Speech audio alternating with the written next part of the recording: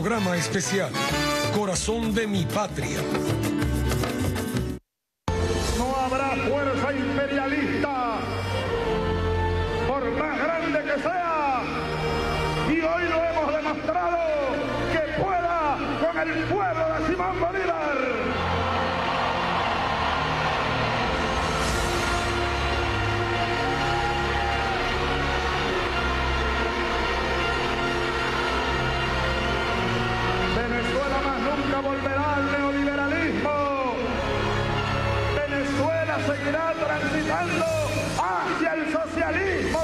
Democrático y bolivariano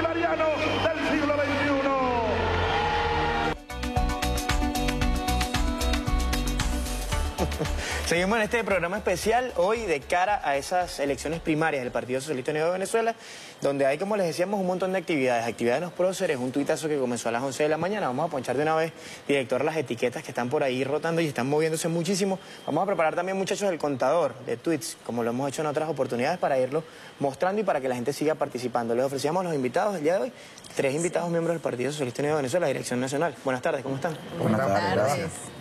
Bueno, tenemos ya una semana de campaña, de campaña interna del Partido Socialista Unido de Venezuela. ¿Cómo ha avanzado? ¿Cuál ha sido el diagnóstico en estas visitas casa por casa? ¿Y qué se espera hoy en las visitas en, la Gran Misión Vivienda Venezuela? Así es, estamos ya finalizando la segunda semana de esta campaña inédita en la historia política, en la historia electoral de Venezuela. El Partido Socialista Unido de Venezuela, modestia aparte, hace camino al andar, hace historia también. Nunca antes un partido político en la historia de Venezuela se había atrevido a llevar la democracia a tal nivel de participación, a tal nivel de ejercicio permanente de la democracia como el Partido Socialista Unido de Venezuela. Incluso con la propuesta que hiciera el presidente Nicolás Maduro al Congreso del partido, a todos los delegados, a todos los miembros del CLP, superamos todas las experiencias democráticas que hubiéramos realizado antes, algo al, al que el Partido Socialista Unido de Venezuela tiene acostumbrado al pueblo de Venezuela a consultarlo, a consultar a sus bases, a, sus unidades de batalla Bolívar Chávez, a sus círculos de luchas populares. Somos el único partido que elige a sus delegados al Congreso por el voto directo de sus militantes. Hemos escogido en anteriores oportunidades eh, eh, candidatos a alcaldía, candidatos a gobernación, candidatos a diputados, a concejales, pero en esta oportunidad hay dos elementos novedosos y sumamente importantes para la evolución política de Venezuela. En primer lugar, el hecho de que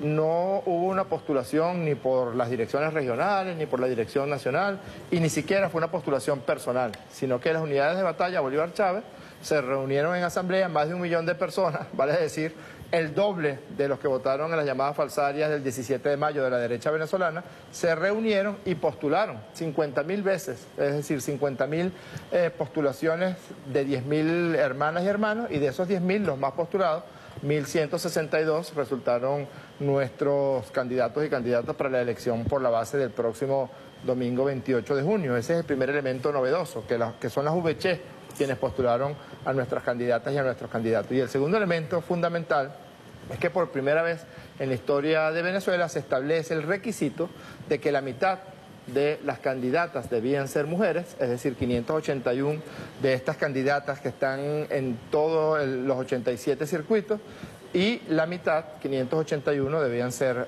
hombres. Es un elemento fundamental también. El otro elemento que ha llenado de, de un elemento de mucha frescura y que ha caracterizado una campaña que por lo general eh, tiene una, unas connotaciones a veces un poco áridas, discusiones un poco fuertes, eh, la instalación de la diatriba, es que en esta oportunidad nada de eso ha ocurrido y yo creo que un elemento que lo explica es que la mitad de los candidatos tienen menos de 30 años de edad. La oportunidad se ha convertido en una verdadera escuela esta campaña, porque bueno, muchachos de 24 a 25 años, con un discurso político ya formado, con una referencia en su localidad, porque la VC los postuló a estos jóvenes de 30 años y ahí los vemos pues con sus afiches, con sus visitas casa por casa, con la instalación de un discurso de defensa de la paz, de defensa de la patria venezolana. Estamos muy, muy contentos con la forma como se ha venido desarrollando esta campaña inédita. A, la fecha, ya mañana domingo estaríamos llegando al millón de hogares visitados en los casa por casa. En la primera semana llegamos a los 450 mil hogares visitados. Si tú multiplicas más o menos 3 a 4 votantes por cada hogar que tiene Venezuela, estamos en el orden de eh, más de 3 millones de personas ya contactadas directamente por las candidatas y los candidatos de la patria. Esa primera semana fue una semana de eh, visitas casa por casa en todas las regiones del país y en esta oportunidad, esta semana, el presidente solicitó que se hicieran estas casas por casa, pero en los urbanismos de la Gran Misión Vivienda Venezuela, en esos 700 mil apartamentos que la revolución venezolana ha construido para el bienestar del pueblo de Venezuela. Y ha sido además una, un ejercicio ya de su trabajo como diputado o como diputada porque están yendo al casa por casa, pero también están enterándose del estado del, poder popular allí en los edificios, cuáles son las, dificultades que se han encontrado, cuáles son los problemas. Ellos después les rendirán un informe al presidente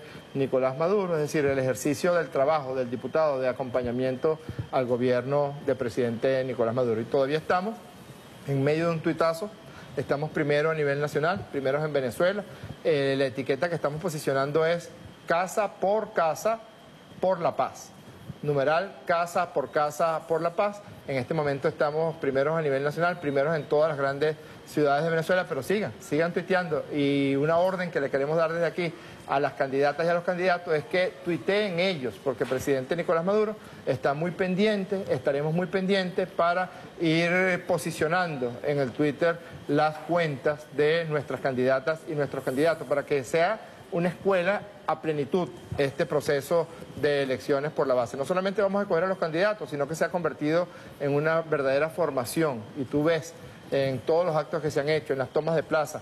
Mañana nos vamos a las plazas Bolívar de los 335 municipios de aquí para decir a ese tenebroso ser de la política, de la política española, el señor Felipe González, numeral Felipe fuera de aquí y numeral Venezuela se respeta. Tú ves que en esas plazas, en esos parques se ha notado la evolución en el discurso, en el planteamiento, en el contacto con el pueblo de los 1.162 candidatos y candidatas. Mariale, está hablando Jorge Rodríguez de esta, por ejemplo, numeral, Felipe fuera de aquí, y yo lo decía al principio, ¿no? Son etiquetas y son cosas que nos hacen recordar a Chávez cuando creó su cuenta Twitter eh, y todo el impacto que tuvo en esa red. Y voy a entonces ahora con la gente más joven, si la que me permite, de la, del panel de hoy, para hablar de eso, ¿no? Primero, diferenciar muy bien cómo se usa la juventud por parte de la derecha y cómo ustedes en el PSU han permitido, yo tengo muchos amigos muy jóvenes, muchos más jóvenes que yo, que hoy están casa por casa en los organismos de la Gran Misión Vivienda Venezuela. Además, inyectan varias cosas, ¿no? creo yo. Inyectan juventud, inyectan un nivel de participación distinto, inyectan algo de irreverencia al discurso, algo de eso de revolución dentro de la revolución. No sé, me, imagino, Víctor, que vas a permitir que hable 18 horas primero. ¿Cómo, ¿Cómo, se evalúa eso?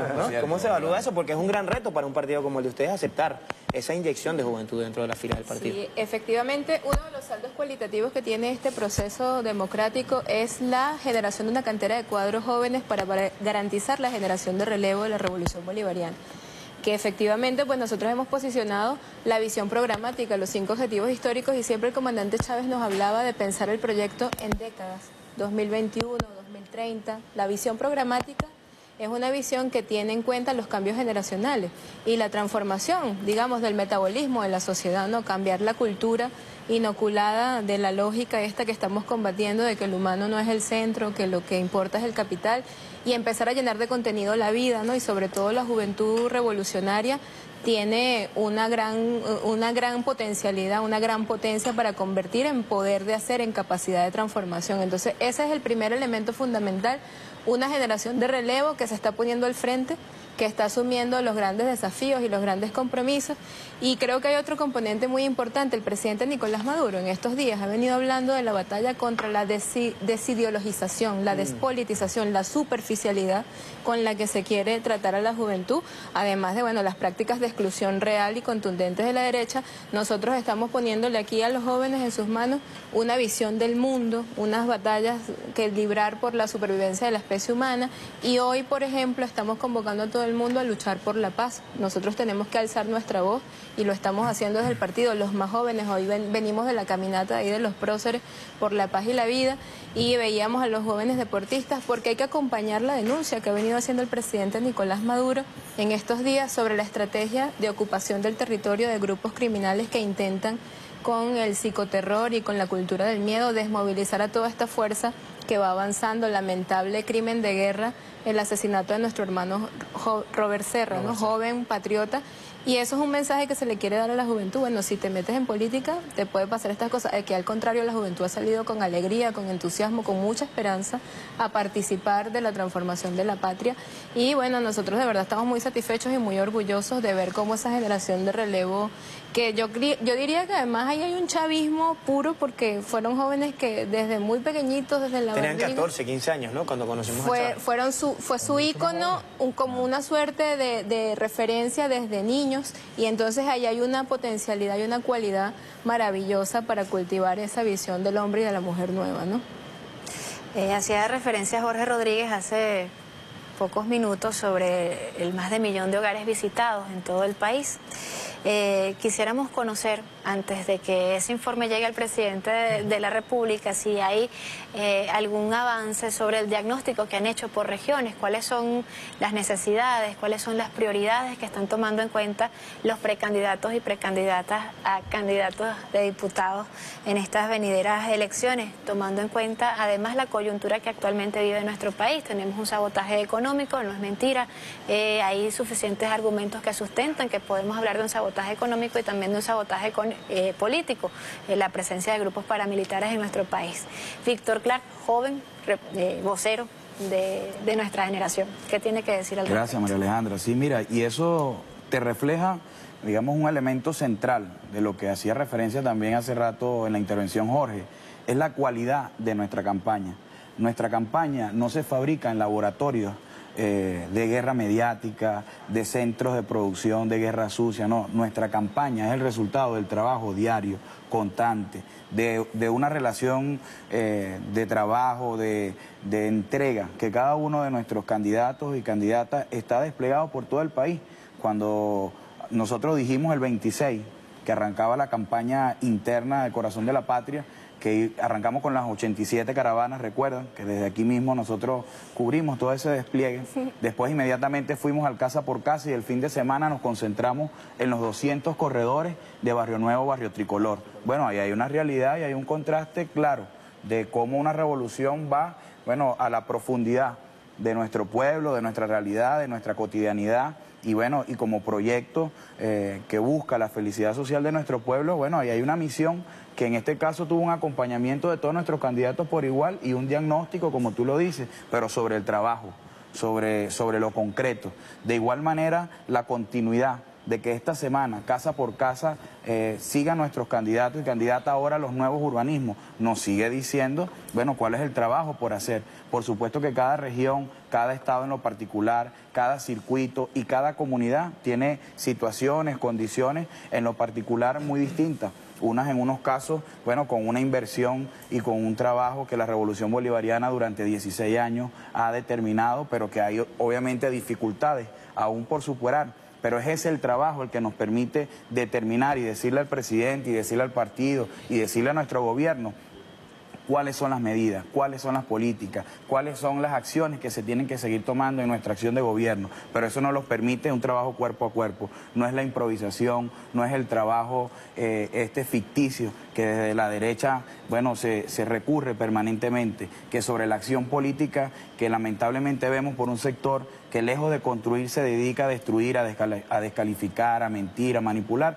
No, nosotros, nuestra propuesta, nuestro proyecto, la revolución bolivariana, el socialismo bolivariano que el comandante Hugo Chávez nos planteó al pueblo venezolano, lo construimos desde la organización del poder popular, lo construimos desde la acción de gobierno que prioriza al ser humano y desde ahí es la campaña que está fundamentada. Por eso es la que de nuestra campaña, más allá más del nombre y apellido, que resulten de los compañeros y compañeras que queden electos por nuestro pueblo, por nuestras bases el 28 eh, de junio. Lo importante es que ahí es la ratificación de un proyecto que le ha permitido al pueblo su plena independencia, su plena soberanía y un camino que lo hemos construido durante todos estos años con una alta participación y protagonismo de nuestro pueblo. Esa es la diferencia sustantiva. Los resultados de ese trabajo determinarán en cada área, en materia de seguridad, en materia de orden económico, en materia de orden de servicios, qué atribuciones o qué competencia le toca a nivel municipal, qué consideraciones son de orden o de concurrencia entre las gobernaciones y nuestra alcaldía y la acción del gobierno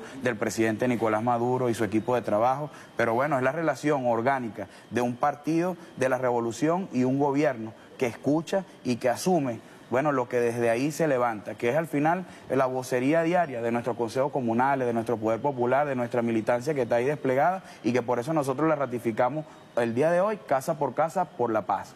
Mire, tú estás hablando de eso y ya tenemos de hecho una muestra de todo esto, ¿no? Decían, bueno, se desplegaron hace un mes, estaban en esta misma mesa con los se marcaron en ese momento, yo me, yo me escapé ese sábado eh, y estaban viendo ese despliegue. Y hoy la segunda fase del despliegue, que ha sido muy atacada, ¿no? Eso lo podemos analizar después de este paso si les parece.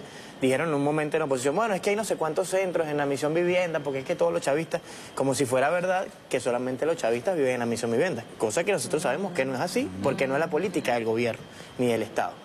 Eh, estamos hablando de todo esto, Víctor, Jorge, Isis, y ya tenemos algunos pases listos. Todavía no. En Bolívar están esperando para mostrarnos cómo es este despliegue. Pero quisiera como te leo mucho, sobre todo por Twitter, Jorge, como, como, como psiquiatra, como especialista, ¿no? Y cuando uno lee los ataques de la derecha y todo lo que ustedes plantean, hay cosas que son como muy de loco, como decir esto, bueno, claro, van a la, misión vivienda porque es que la gente está obligada, casi que los van a fusilar y los van a expulsar si no votan por el, por el chavismo. ¿Qué, ¿Qué lectura se le puede dar a ese tipo de conducta cuando además uno ve una oposición que no ha hecho nada de campaña?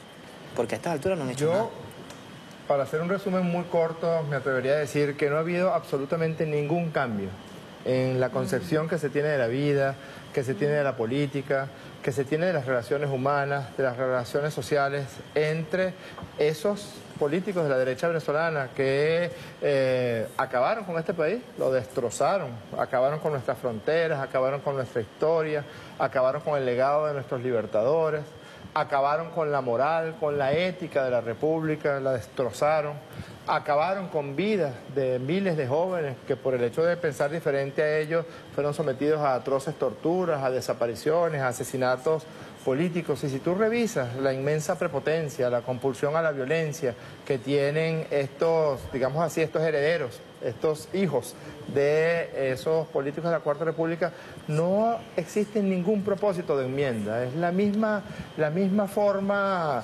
prepotente, grosera, excluyente de ver la política. Cuando ellos dicen que hay centros de votación en los urbanismos de la Gran Misión Vivienda Venezuela, eso ocurre porque en el pasado, en la Cuarta República principalmente, los pobres no podían votar. Los pobres no tenían derecho al voto. Tenían derecho al voto los muertos. Los muertos sí votaban por ADE o por COPEI, porque ellos agarraban. Y los años que había elección, resulta que retardaban el registro de los fallecidos ese año y del año anterior en Venezuela. Y al retardar el registro, no quedaba registrado como fallecido y se iban con decenas de cédulas, centro de votación por centro de votación, para meter miles y miles de votos por Acción Democrática y por COPEI. Una de las cosas más asombrosas que me ocurrió a mí cuando llegué al Consejo Nacional Electoral fue encontrar unas especies de cables de computación donde estaba conectado el CEN de Acción Democrática y la Casa Nacional de COPEI con el registro electoral venezolano y ellos podían manipularlo a su antojo. Entonces los pobres no podían votar porque no tenían derecho al voto, porque no tenían cédula de identidad, porque antes por encima de la cota 1000, es decir, tú sabes que los sectores populares en, Caracas sobre todo viven en, los terrenos más elevados, que fueron arrojados a vivir en los peores terrenos por el capitalismo salvaje, en el pasado, por encima de la cota 1000 no había ni un solo centro de votación. Claro, el advenimiento de Chávez y la revolución bolivariana generó una democratización en la cantidad, en la calidad, en la forma, en el fondo de la democracia venezolana. Es decir, un elector un voto. Un elector vale lo que vale su voto. Claro, ellos no, no estarían de acuerdo porque definitivamente de forma consuetudinaria el pueblo de Venezuela les ha venido dando la espalda. Por otra parte, yo diría que la única enfermedad que tiene la democracia venezolana, la única, es la oposición venezolana. Porque no son, o sea, no, tienen un comportamiento verdaderamente democrático. Ellos jamás han reconocido sin problemas aquellas elecciones que pierden, pero las elecciones que ganan las reconocen de inmediato.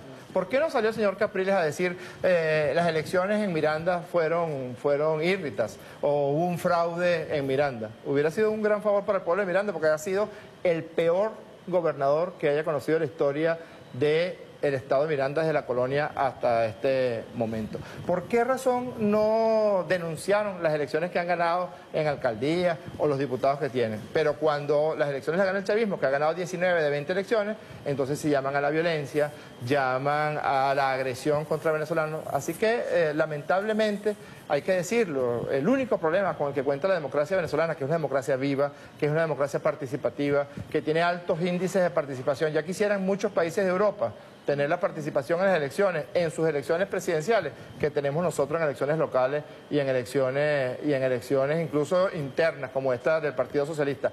Apuesto, estoy seguro que en nuestra elección del 28 de junio va a participar mucha más gente en porcentaje que la que participa en elecciones presidenciales en algunos países de Europa. El problema es ellos, que tienen esa tendencia a la, a la agresión y a la violencia. Mire, tenemos ahora sí un pase listo en Apure. Yo, Víctor Clar, a Víctor Clar le gusta dar los pases acá del estudio 4 de la cámara, con la cámara. Colega. Permítame, ¿Ah? permítame, ¿cómo no?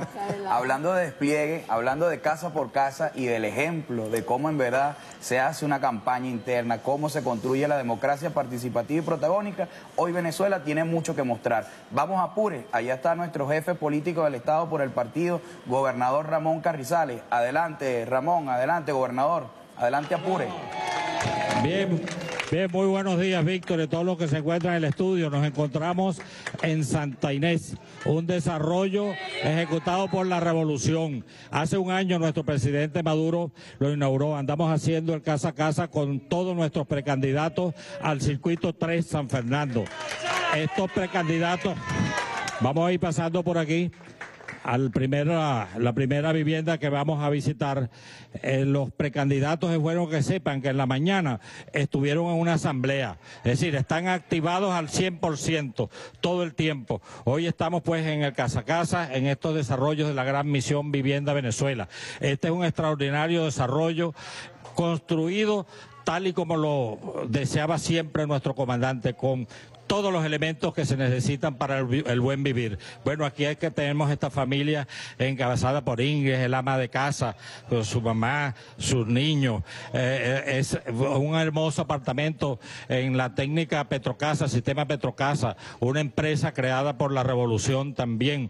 Nosotros andamos pues con todos estos precandidatos andamos este, hablando del plan de la patria, hablando de las misiones, hablando de la revolución bolivariana, de por qué debemos defender la revolución bolivariana, de lo que podemos perder si la revolución bolivariana eh, es derrotada en algún momento, un momento negado pues para nosotros. Vamos a desplazarnos hasta la siguiente vivienda. Vamos a desplazarnos a la siguiente vivienda y luego eh, para que puedan interactuar con nuestros precandidatos. Es importante resaltar que los, nuestros precandidatos andan todos juntos en todas las actividades. Son un equipo de trabajo que entiende que conforman el comando de campaña del candidato ganador, de nuestros candidatos, los tres candidatos. Aquí en Apure hay una situación particular nos dijo estos días Diosdado que es el único estado donde hay acuerdo. Aquí, por supuesto, tienen por la lista a la señora Montilla, esposa de alguien, de un gobernador ADECO por muchos años, en el, perdón, en el circuito 3, en este circuito.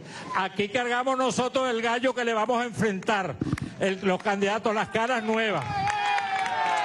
Entonces, ya aquí tienen definido puro pasado. La señora Montilla eh, gobernó aquí muchos años con su esposo. El señor Lipa está por la lista. Eh, ha sido candidato a todo, fue gobernador del estado con unos resultados pues funestos, bien cuestionables. Aquí estamos entrando a una nueva casa donde nos está recibiendo la familia con a los precandidatos. Aquí están, aquí están los precandidatos de la patria. Si ustedes pues quieren interactuar con ellos, con la familia, estamos en esta, en esta vivienda, un hogar venezolano, un hogar digno, un hogar que ha recibido de la gobernación los beneficios más importantes que puede haber una vivienda digna con todos los servicios, con todo el equipamiento urbano. Adelante, Víctor.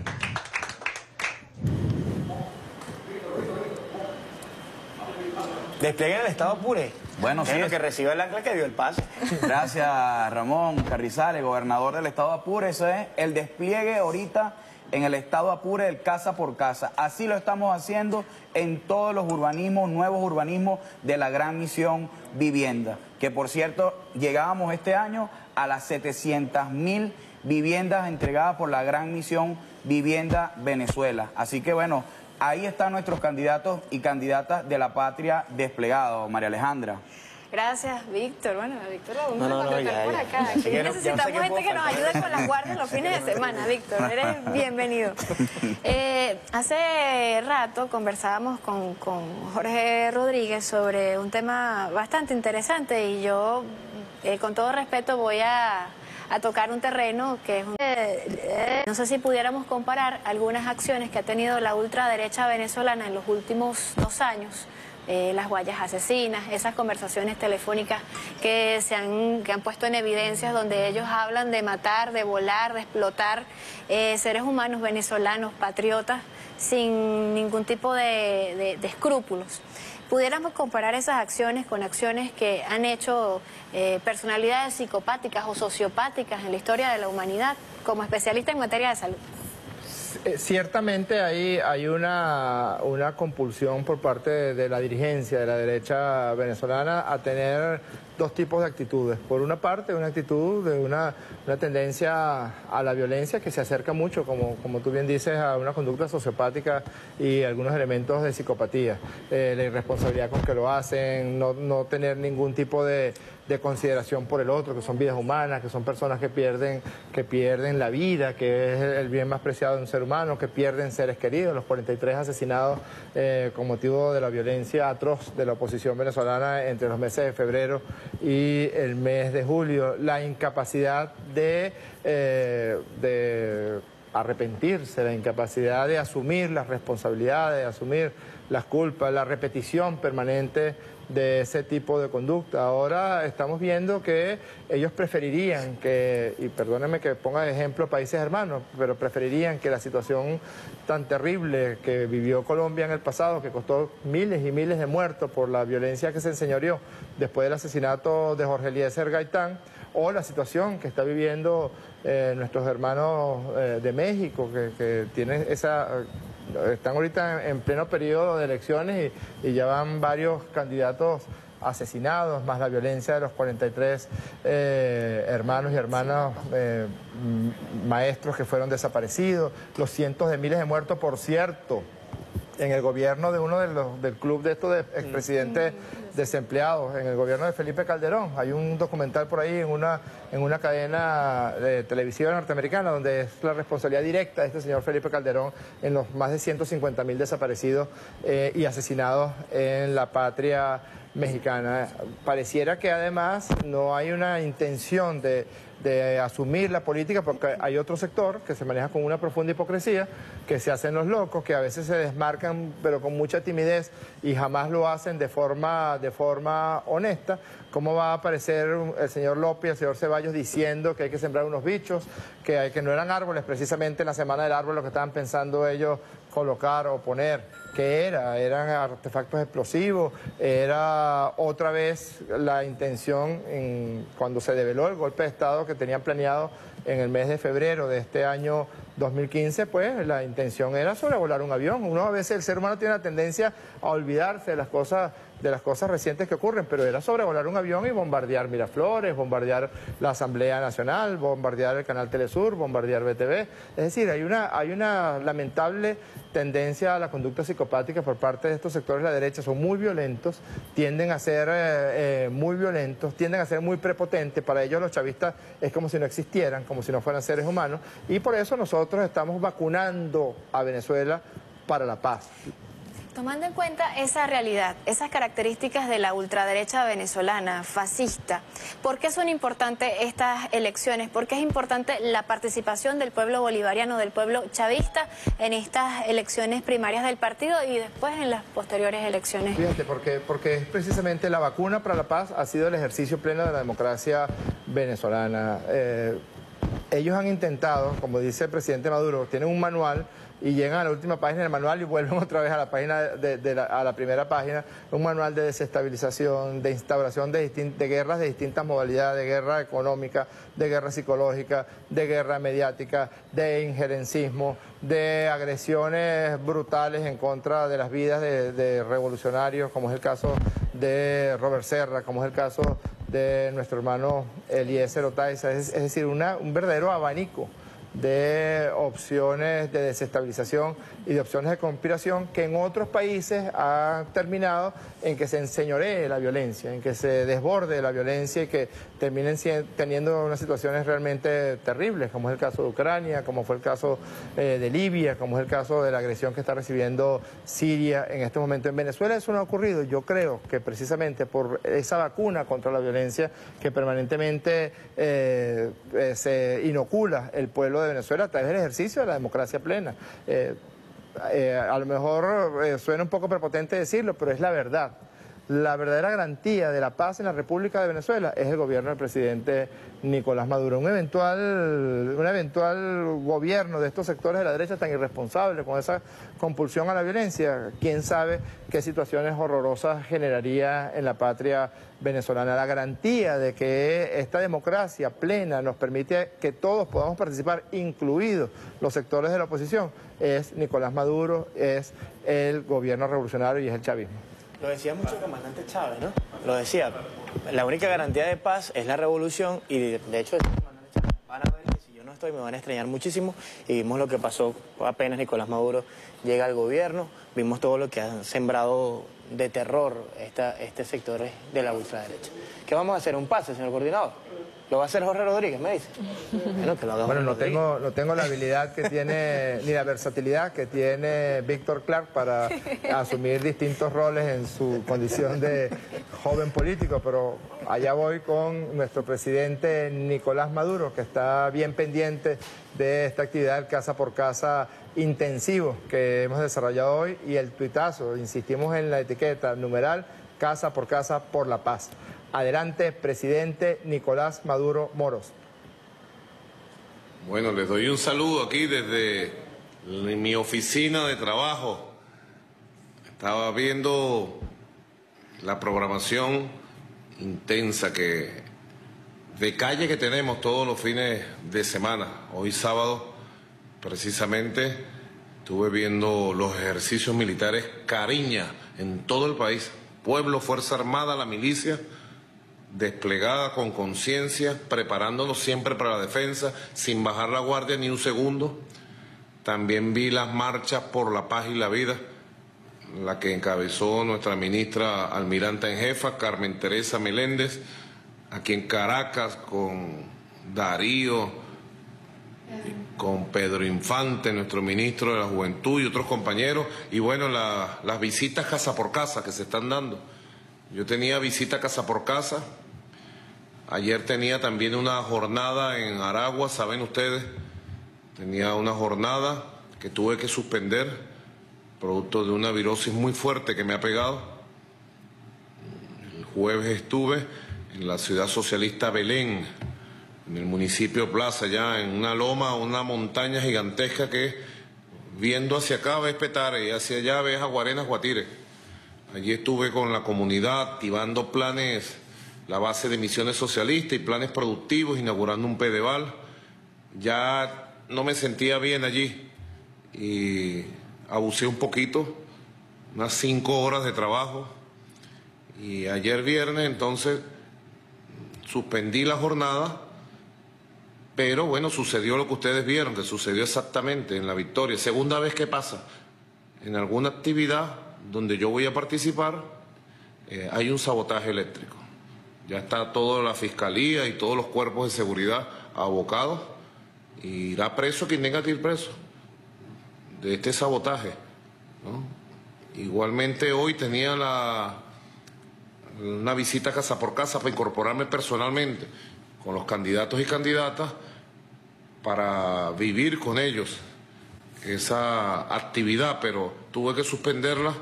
Los médicos me han obligado a quedarme en descanso, descanso. Y es lo que estoy haciendo ahora, aunque esto no quita que podamos tener esta comunicación. Bueno, de hecho, he tenido que, por recomendación médica, suspender el viaje a Roma. Estoy suspendiendo el viaje a Roma, tenía que salir a esta hora más o menos. Después de la casa por casa, me iba a Roma a recibir el premio de la FAO, el reconocimiento internacional de la FAO, y a atender una agenda en la universidad allá en Roma. Creo que hay problemas de conexión. Vamos a ver, creo que hay problemas de conexión. La universidad allá en Roma. Como estaba diciendo, de hecho, después de la visita casa por casa, eh, del día de hoy sábado salí a Roma a recibir el reconocimiento de la FAO, el organismo internacional de Naciones Unidas, que ha hecho este año reconocimientos a varios países del continente, entre ellos Argentina, Brasil y varios países del ALBA, entre ellos a Venezuela, por nosotros el esfuerzo que se ha hecho durante estos años para instalar un sistema que garantice la seguridad y soberanía alimentaria para nuestro pueblo. No sé si me está escuchando, Jorge. Sí, presidente, perfecto y claro. Y también aprovecho la oportunidad para informarle que se suma al equipo aquí en el estudio el señor primer vicepresidente del Partido Socialista Unido de Venezuela, diputado Diosdado Cabello Rondón. Adelante, presidente, ¿copia usted? Perfecto, lo que pasa es que estoy viendo, estaba viendo la, imagen congelada. ¿Mm? Pero si me escucha, un saludo a Diosdado, compañero, camarada Víctor. ¿Cómo está, compañero presidente? María Alejandra Aguirre, a Jordán Rodríguez y a Isis que están allí. Entonces estaba diciendo que hoy después de casa por casa salía a Roma a atender primero el premio de reconocimiento a toda Venezuela, porque es un reconocimiento a Venezuela. De verdad yo les digo, no puedo entender que tienen en el alma algunas personas de la ultraderecha venezolana cuando se molestan porque los organismos internacionales reconocen que el pueblo de Venezuela ha logrado estándares altos o en la cultura, educación, la UNESCO, o en la alimentación, la FAO, o en el ejercicio de derechos fundamentales que nunca tuvimos, como el de la vivienda, etcétera. Se molestan, uno los ve, no los ve echando espuma por la boca de rabia porque Venezuela es reconocida nuevamente por la FAO. Eh, iba también a atender una agenda intensa con universidades allá en Roma. Íbamos a tener un encuentro con movimientos sociales, intelectuales, escritores en, en la montaña donde nuestro libertador hizo el juramento del Monte Sacro y iba a atender una entrevista personal con el amigo Francisco, el Papa Francisco. Le he comunicado al nuncio apostólico que, bueno, buscaremos una nueva fecha. Me da mucha pena, bueno, por razones de este gripón que me ha pegado y una otitis fuerte, los médicos me hayan prohibido montarme en avión y emprender un viaje de estas características.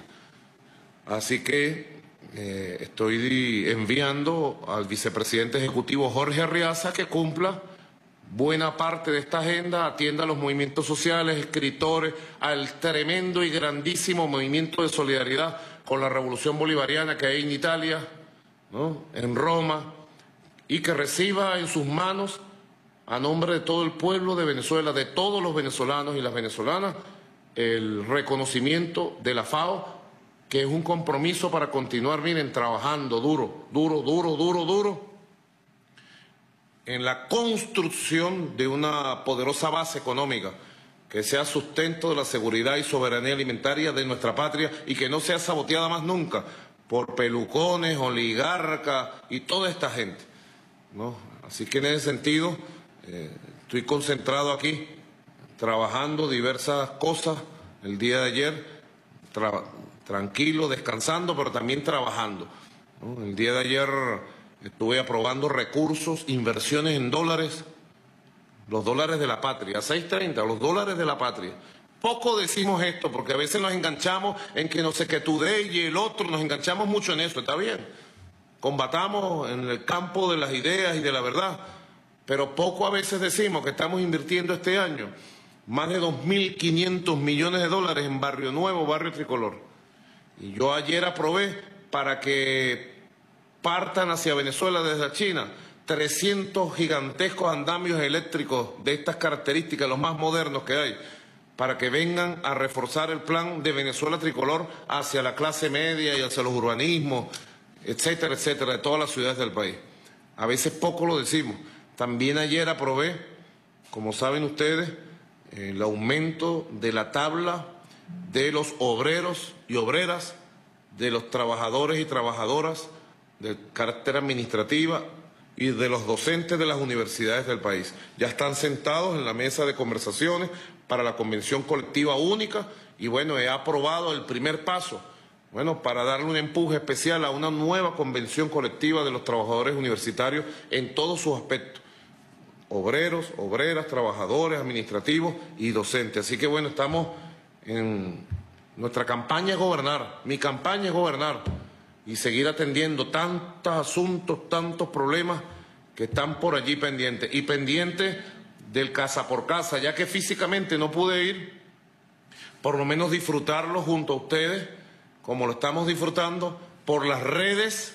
Yo estoy en el combate por las redes permanentemente, aquí con nuestra etiqueta casa por casa, que permite eh, adicionar fotos del casa por casa en todos los rincones del país que nos permite ver videos. ¿no? Yo ayer tuiteé un video buenísimo de una cuenta que descubrí curucuteando por aquí en Twitter. Descubrí una cuenta que es arroba gente chavista y descubrí un video que dice más o menos la historia nuestra en cinco minutos y una consigna bellísima que dice eh, de victoria en victoria, chavistas para lo que salga video con el cual comenzaron este programa especial. Porque lo bueno del movimiento bolivariano venezolano es que cuando estamos en batalla surge la diversidad de creación cultural de todo tipo, la poesía, la muralística, la pintura, la música, los cantos, las consignas, eh, los logotipos y esta campaña inédita que estamos haciendo, casa por casa, urbanismo por urbanismo, corredor por corredor, universidad por universidad, liceo por liceo. Esta campaña inédita de ir al encuentro, al contacto directo con el pueblo, para saber la verdad del pueblo, para orientarlo, de verdad que es una bomba atómica. Yo diría, de aquí al 28 de junio estamos tensando y preparando la fuerza. El 28 de junio hay una prueba tremenda, convocar a nuestro pueblo a elegir sus candidatos, sus candidatas. Y del 28 de junio a la fecha que coloca el CNE, lo que va a hacer es una campaña huracanada que va a sacar del patrimonio más hermoso de nuestra experiencia en campañas políticas, en campañas electorales, va a sacar la fuerza más grande que se haya visto. Ustedes verán, ustedes verán, está por allí. Una primera prueba este año fue la campaña para defender al país contra la agresión de Estados Unidos. Eso fue como un calentamiento, suavecito allí, 11 millones de firmas. Bueno, ahora pasamos a otra etapa, vamos a prepararnos para las elecciones y ahora estamos, mira, preparando fuerza, preparando fuerza.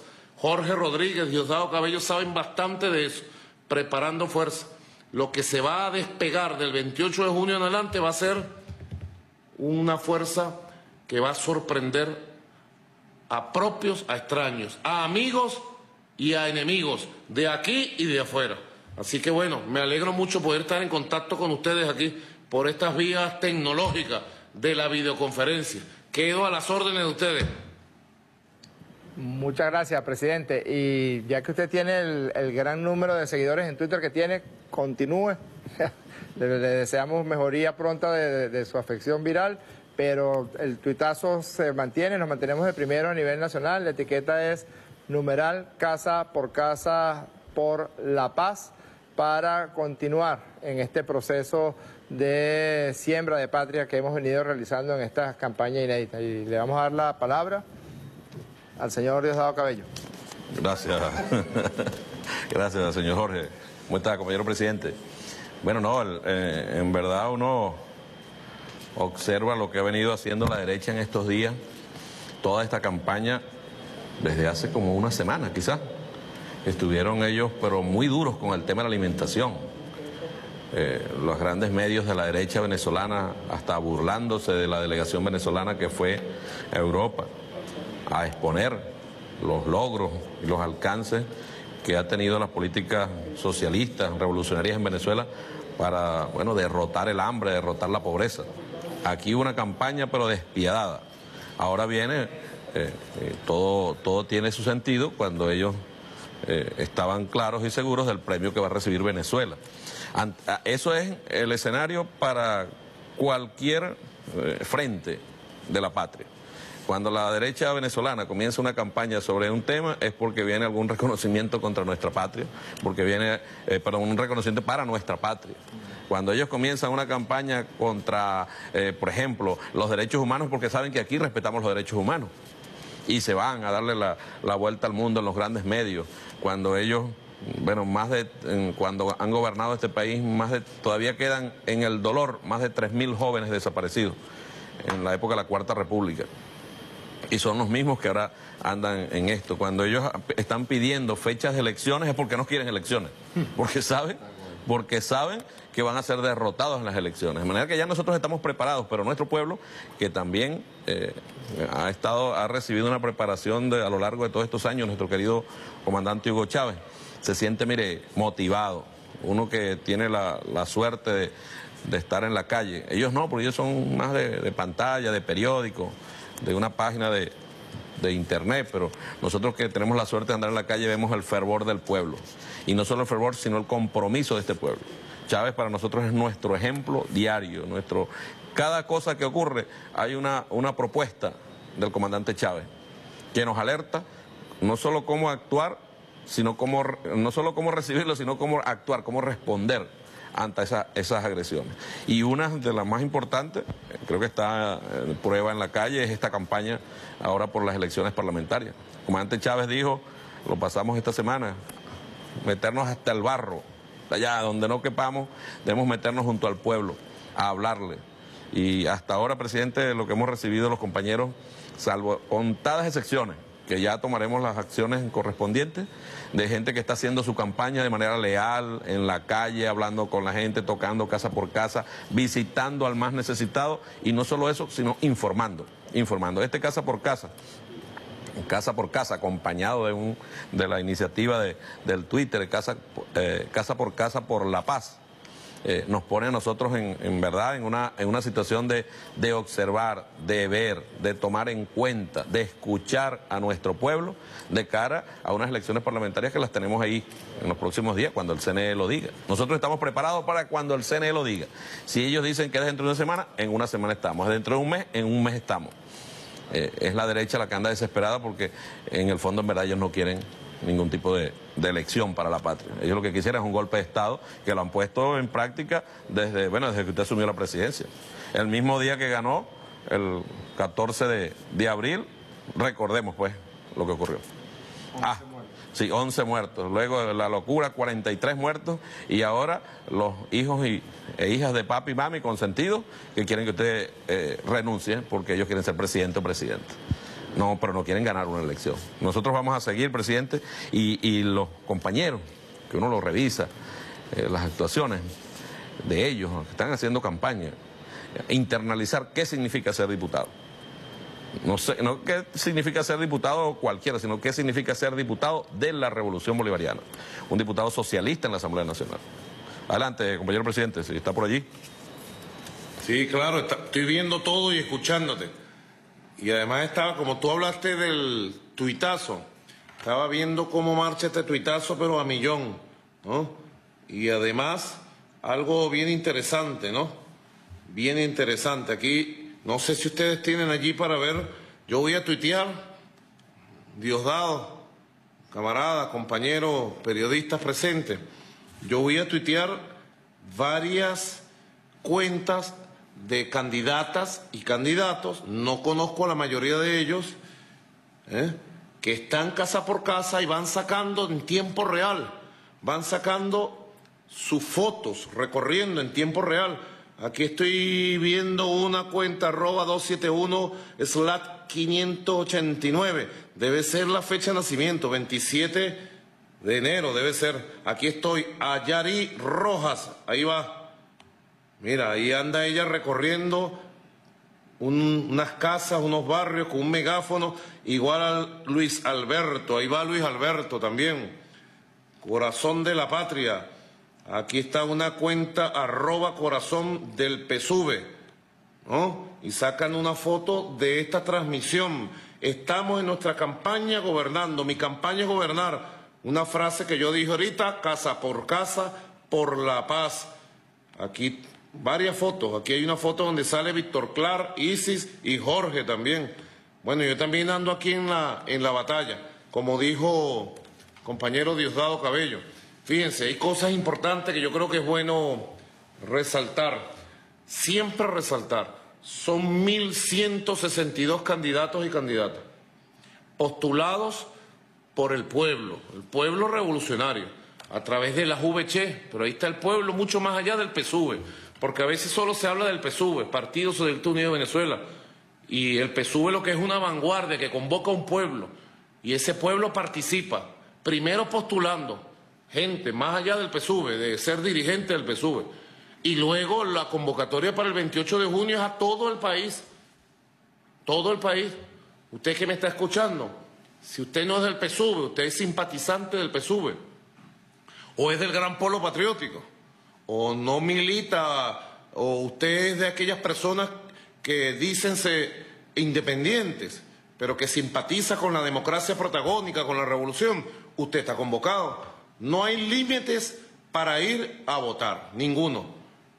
La conciencia es la única arma que hay que llevar para votar el 28 de junio. Hay que llamar a votar masivamente todo el 28 de junio por estos muchachos. 1.162 candidatos y precandidatos. Esto es un proceso inédito.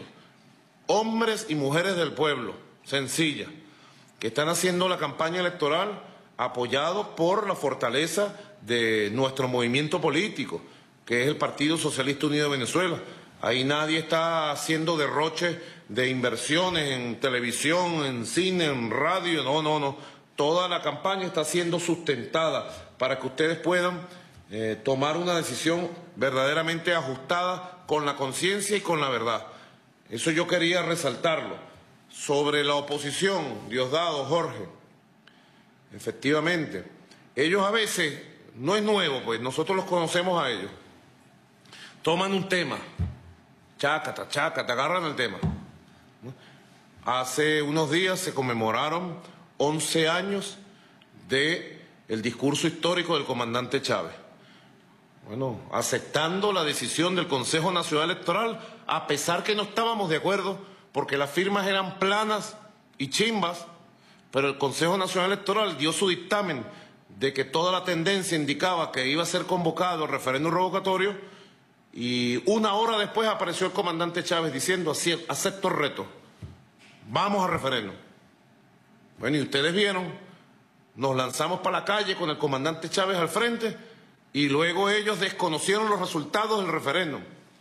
Y Henry Ramos Alud dijo que en horas, no dijo cuántas millones de horas, no hizo la precisión, en horas iba a presentar las pruebas de que eh, el fraude inmenso que se había cometido. Unos irresponsables no se le puede llamar de otra manera. Ahora cargan la cantaleta de que el CNE ponga la fecha. Tiene una cantaleta.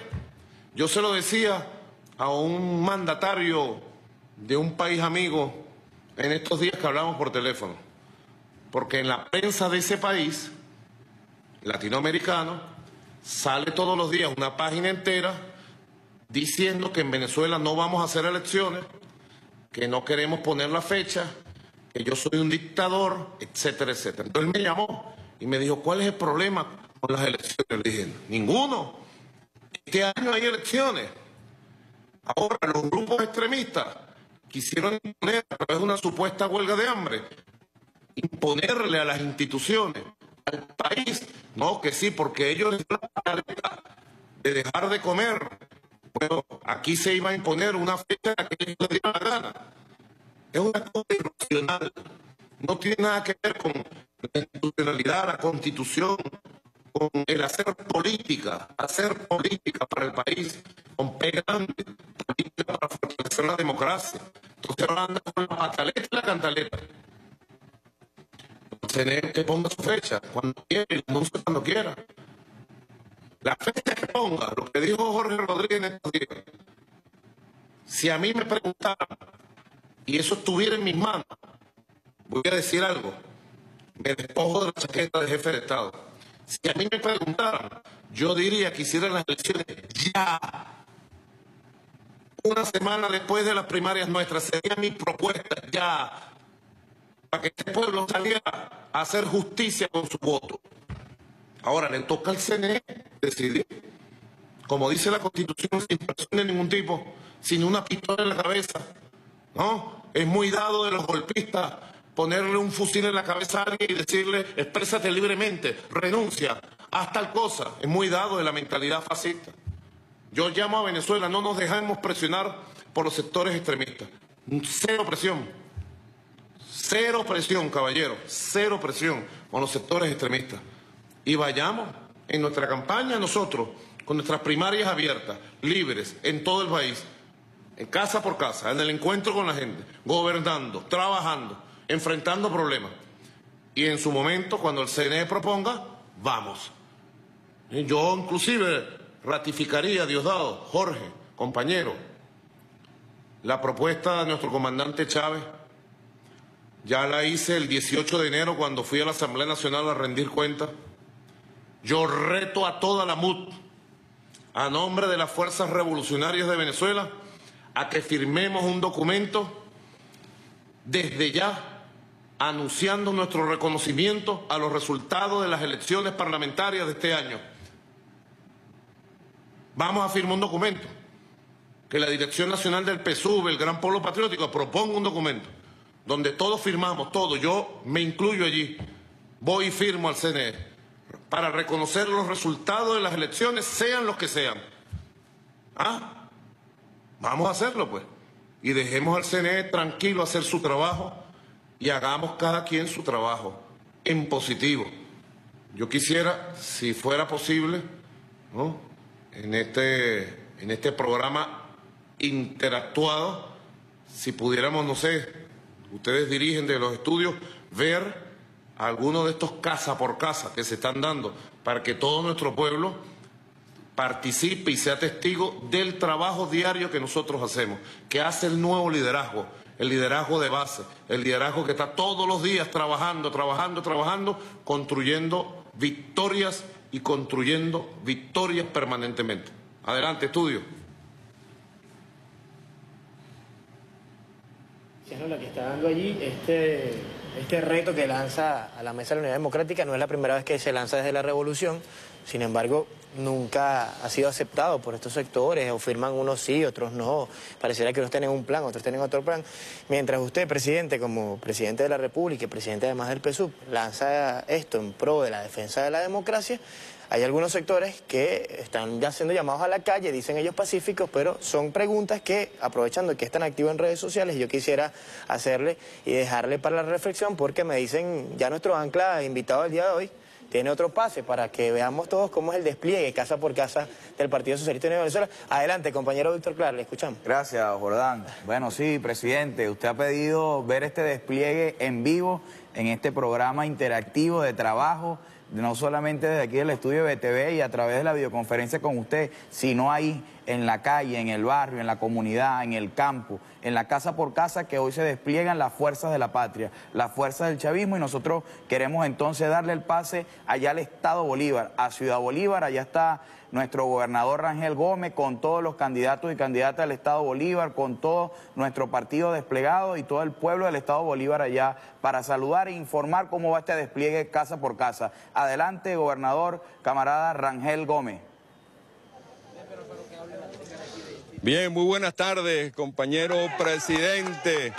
Muy buenas tardes, compañero Diosdado, Jorge, Víctor.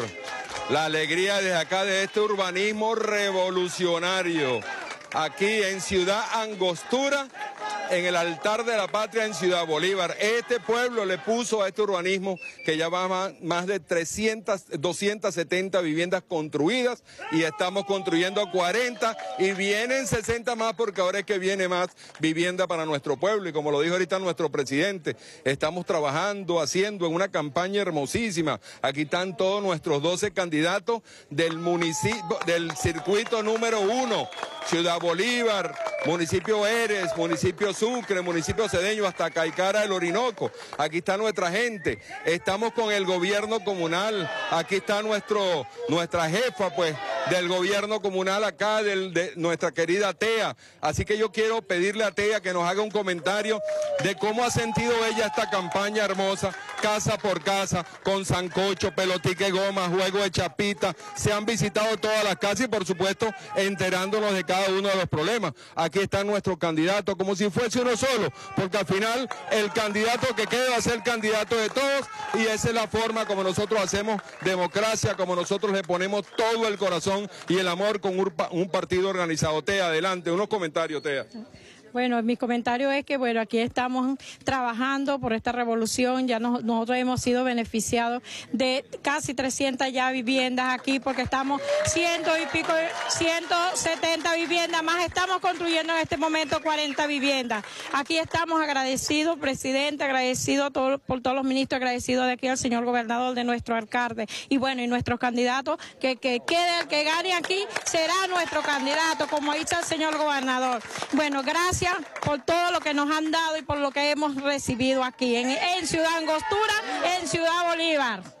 Gracias, compañera y amiga Tea. Aquí está el poder popular, pero también está aquí el partido. Aquí está nuestro jefe de CLP, acá en este sector, que aquí hicieron los comentarios de él. Adelante, Manuel, adelante. Muy buenas tardes. Mi nombre es Mario Bravo, jefe de círculo de la parroquia de Guasalada.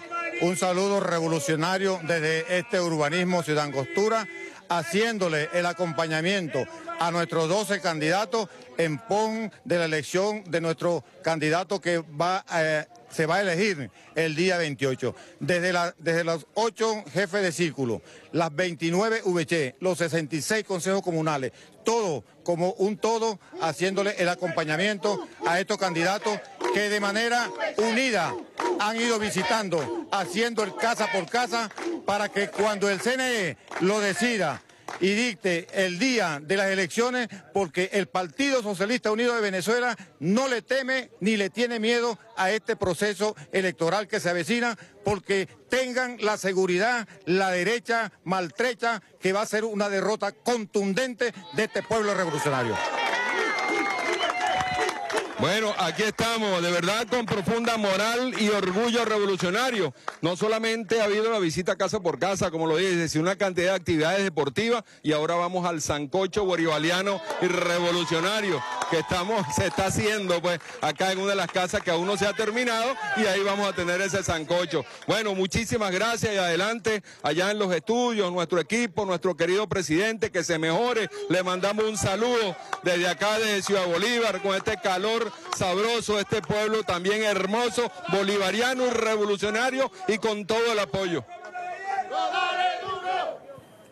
Bueno, esas fueron las impresiones de allá de Ciudad Bolívar, presidente. Ahí estaba pidiendo usted una muestra de este despliegue y qué mejor, como lo dice nuestro gobernador del Estado Bolívar, Rangel Gómez, que después de una casa por casa, un buen sancocho para finalizar esta jornada de trabajo. Y ahí está, la muestra de todo el trabajo que están haciendo todos nuestros candidatos y candidatas. Presidente, no sé si usted quiere hacer alguna saludo, pregunta allá al Estado Bolívar. Tenemos también ya prevenido el Estado Anzuate y el municipio Huanta específicamente. Así que, presidente, adelante usted. Bueno, tremendo presentador, Víctor Clar. ¿Ah? Gracias, Víctor, de la Juventud revolucionaria de la patria. Y lo único que le podría decir el gobernador, a los candidatos y candidatas a diputadas allá en el Estado Bolívar y en todo el país, es que continúen caminando, escuchando, resolviendo. ¿Por qué es importante ir a la, allá al terreno, a los corredores, 200 corredores. ¿Por qué es importante ir a los urbanismos?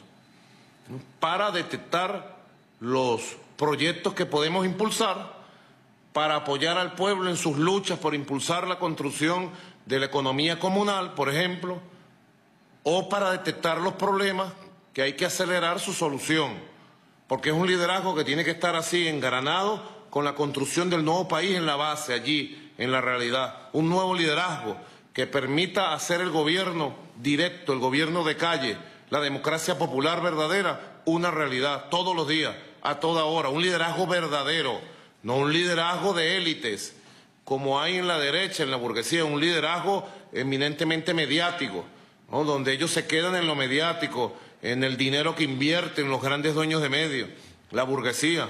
El liderazgo pelucón es un liderazgo de élites, es un liderazgo falso. El liderazgo popular, chavista, bolivariano, nuestro, tiene que ser un liderazgo de caminar con el pueblo, tiene que ser un liderazgo de expresar las luchas del pueblo, las luchas verdaderas. Yo estuve tuiteando, Diosdado, Jorge, Isi, Víctor, María Alejandra y Jordán, Jordán. Estuve tuiteando varias cuentas, no sé si ustedes la vieron. Metiéndome aquí, esto es una revolución, una forma de expresión, fíjense aquí, eh, nuestros twitters son real. Hay un programa de Telesur que se llama No son tweets, son historias. Bueno, estos no son tweets, esto es pueblo en la calle. Miren, aquí está, tengo varios tweets que reproduje mientras ustedes estaban hablando. El primero que tengo aquí, Juan Carlos Alemán, arroba alemán 72 PSV, dándole la bienvenida al mes de San Juan. Y aparece aquí todos nuestros candidatos de la zona de Antímano, Mamero, bailando tambor con el pueblo, casa por casa con tambor. Después aparece arroba Barcos María, una muchacha llamada María. Vamos a ver, Dice Bota 18, Pesube Lara, Circuito 1 de Lara, María, no la conozco, aparece en varias fotos con el pueblo caminando, abrazando. Ahí está el comandante Reyes Reyes al lado de ella. Después aparece un Twitter de Jonathan Marín, nuestro alcalde de Guanta. Y aquí aparece, mira, Maripili, candidata por la base por allá, por Anzuategui, hablando. Otro tweet arroba Rizaldes de Guanta también, una asamblea ¿no? con gente en Guanta. Luego aparece José Chávez, dice en la comunidad de Valle Hondo, casa por casa, en Táchira, dándole duro en el Táchira, mire este compañero. Ender Sánchez también, en una asamblea en un patio de una casa. Aquí está JD Contreras, casa por casa, en Anzuategui. Yaneli González. El Twitter de Yaneli se llama arroba Gaza Libre. Aparece caminando junto a nuestro pueblo, es Estado Aragua. Aparece también Pedro Papatala, Dame pa' Matala, el cantante de Dame pa' Matala, joven venezolano, también candidato en Aragua. Luego vemos a Villegas Polhat, Ernesto Villegas, aquí está, mira, haciendo uso del derecho de palabra en el casa por casa. Esto es tiempo real, esto es en tiempo real. Aquí aparece un muchacho llamado Davis Daza, igualmente, en Valencia, casa por casa, saludando, hablando, casa por casa, cara por cara. Y así por el estilo, Rafael Núñez, Arminda Guerrero, aquí también Arminda Guerrero, caminando con niños, niñas, compartiendo la sonrisa, la felicidad de vivir, de luchar y el amor que nos mueve. Bueno, camaradas, sigamos. Yo estoy aquí invitado y ustedes dirigen desde allá, aquí tomando té de moringa con limón y miel de abeja para poder superar pronto esta virosis tan dura donde los médicos me han obligado a descansar. Estoy rompiendo la regla por una hora permitido por los médicos. Adelante, camaradas. La cuerdita, sí, sí. Sí, presidente. Seguimos aquí, bueno, en todo el despliegue, la cobertura, tal cual como usted lo dice. Esto es la realidad en vivo y directo de todo el pueblo venezolano en los 87 circuitos. Vamos a darle la palabra ahora a nuestro compañero Jorge Rodríguez, que también tiene información que dar, presidente. Sí, presidente, cuando arrancamos este programa especial, estábamos ya número uno a nivel nacional con el tuitazo eh, y número uno en las principales ciudades, con un volumen de, flujo de 5.000 a 6.000 tweets por hora. En el momento en que arrancó este programa empezó a subir de forma paulatina, pero cuando usted empezó a tuitear los, a retuitear los tweets de los candidatos, ya nos hemos disparado a más de 14.000 tweets por hora. Es decir, es, bastante acertado ese proceso de dominio en las redes, donde además el candidato se pueda ver, pueda ver sus tweets, se pueda sentir motivado para seguir eh, tuiteando. En este momento eh, tenemos absoluta hegemonía, eh, absoluto dominio de la red del pajarito en todas las ciudades de Venezuela y seguimos de largo como número uno en toda Venezuela, presidente. Creo que bueno, vamos a dar la palabra al señor Jordán y María Alejandra para el próximo pase. Estamos justamente pidiendo el contador, cuando el alcalde Jorge Rodríguez eh, hablaba de los números, bueno, vemos cuál es el estado que más ha tuiteado, está el estado Miranda en este momento de puntero y cómo, dependiendo de la intensidad del color rojo, eh, se va viendo este movimiento en redes sociales. Hoy gran tuitazo, lo anunciaba Jorge Rodríguez, lo reafirmó el presidente de la República. Por aquí nos estábamos tomando una foto justamente para tuitearla también desde el estudio 4. Me dicen que está listo el pase aguanta, presidente, eh, miembros de la Directiva Nacional. María, le vamos inmediato entonces con Jonathan Marín, que se encuentra allá. Es que me siento intimidado realmente por la presencia de Víctor Clar en la misma mesa. Yo, adelante el alcalde de Guanta con este pase hoy, el PSU desplegado casa por casa en el estado de Anzuategui. Sí, bueno, buenas tardes, señor presidente, compatriota y camarada, nuestro líder. Desde Guanta le saludamos y le pedimos a Dios que se mejore rápido. Lo necesitamos montado en el ring dando la batalla por nuestro pueblo diaria, como usted lo sabe hacer, para seguir llevando adelante el legado del comandante Hugo Chávez. Nos encontramos desde el estado Anzuategui, aquí en nombre de nuestro gobernador, profesor Aristóbulo Isturi, le damos un saludo a usted, le damos un saludo a todos los compañeros que están en el estudio, nuestro compañero, camarada, primer vicepresidente del partido y presidente de la Asamblea Nacional, Deodado Cabello, compañero Jorge Rodríguez, al compañero Víctor Clara, a la compañera Isis Ochoa, a todos los que se encuentran allá. Bueno, aquí estamos en Guanta, acompañados de nuestro jefe de CLP, de nuestros compañeros, miembros de todo lo que tiene que ver de nuestra militancia del Partido Socialista Unido de Venezuela, los jefes de la UEC y bueno, las candidatas y candidatos, presidentes, son en un total de 12, seis mujeres y seis hombres los que se encuentran acá. Estamos en el casa por casa que usted convocó nuestro partido a llevar el mensaje de la revolución, a llevar el mensaje del socialismo. Nos encontramos acá, bueno, en compañía de la compañera María Arasme, la compañera Rosemary Figuera, Rosamari Moya, Jesús Rubén Figuera, Manuel González, Andrés López, Gladys Rodríguez, Maripili, Belki Rojas, Luis Guzmán, compañero Douglas García y Roger López. Aquí están nuestros 12 candidatas y candidatos. Nos encontramos, compañero presidente, en la casa de la familia Guzmán Suárez, donde los compañeros están trayendo este mensaje. Y bueno, yo quisiera darle el derecho de palabra a, nuestro, a uno de nuestros, de nuestros candidatos para que bueno, interactúe con usted y sepa pues usted que estamos cumpliendo su orden, señor presidente, y la orden de nuestro partido de llevar en este casa por casa a todo lo largo y ancho el mensaje de la revolución del socialismo. Dejo a la compañera Maripili Hernández. Bueno, buenos días, buenas tardes a todos. Tenemos pues todo este día de hoy y los días anteriores, porque no ha sido solamente hoy, haciendo estas visitas casa por casa, eh, concientizando Consideramos que este es un proceso pedagógico importantísimo, el proceso hacia las elecciones del día 28 de junio, más que un proceso electoral, es un proceso pedagógico. Pedagógico porque estamos aprendiendo a hacer la democracia participativa y protagónica. Pedagógico porque más que un voto, estamos buscando conciencias de patriotas, conciencias de personas realmente comprometidas con la patria. Los revolucionarios no nos conformamos nada más con conseguir votos, porque eso se hacía también en la Cuarta República. Nosotros estamos convenciendo a la gente con argumentos, estamos conversando con nuestros camaradas. Por eso no necesitamos hacer grandes campañas espectaculares con bombos y platillos. No, es mucho más bonito este contacto casa por casa, hablando con la gente, conversando, discutiendo si hay algún problema, entonces buscando una solución. Si hay algún error que hayamos cometido, entonces asumir ese error para, para seguir adelante y poder continuar con este proceso revolucionario y con los logros de todo el legado que nos dejó nuestro comandante Chávez. Aquí estamos todos unidos, aquí están todos los candidatos y candidatas del circuito 4 del estado de Anzuategui. Estamos de verdad, además esto es un ejemplo como partido político que yo diría que es histórico porque estamos todos juntos, con mucho cariño. Aquí está la gente de la juventud, los que tenemos un poquito menos de juventud también estamos aquí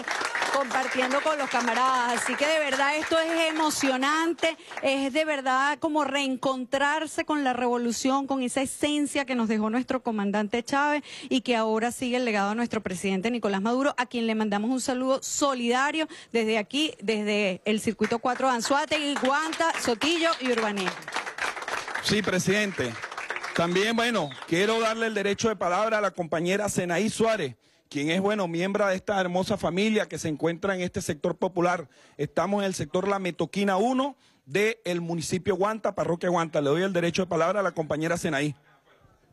Buenas tardes, señor presidente. Aquí le damos un saludo revolucionario desde el sector La Metoquina de Guanta, con todo este, de, nuestra humilde familia, aquí con nuestro comandante, eh, siguiendo el legado de nuestro comandante Hugo Chávez y también este, impulsando la candidatura de nuestros compatriotas aquí a la Diputación. Una vez más vamos a seguir eh, cumpliendo el legado de nuestro comandante Hugo Rafael Chávez Fría de seguir impulsando el proceso revolucionario.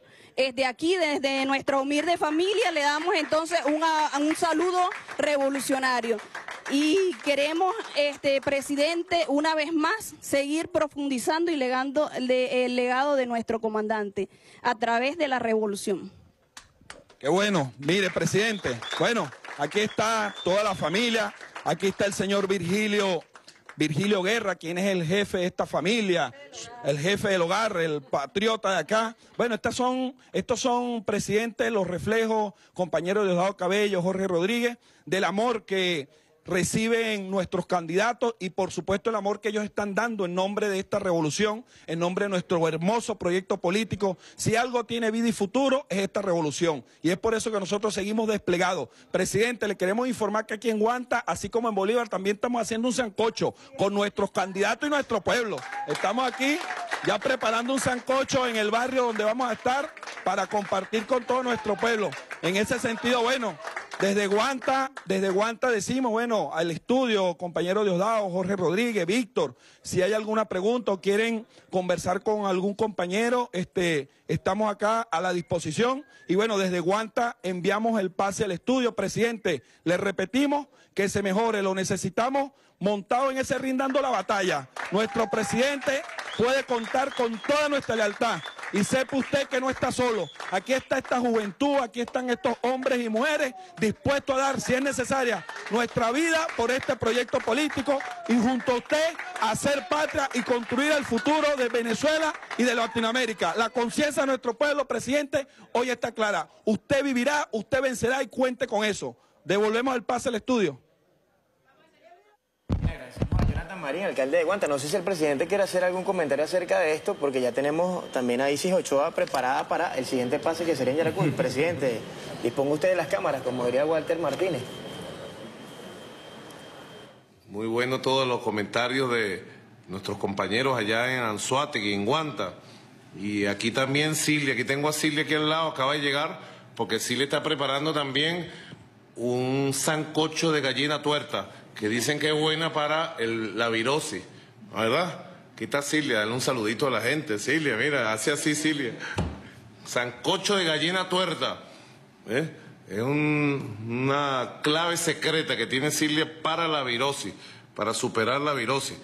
Bueno, yo también estoy a la espera de las preguntas, porque donde hay periodistas hay preguntas. No me han hecho ni una pregunta.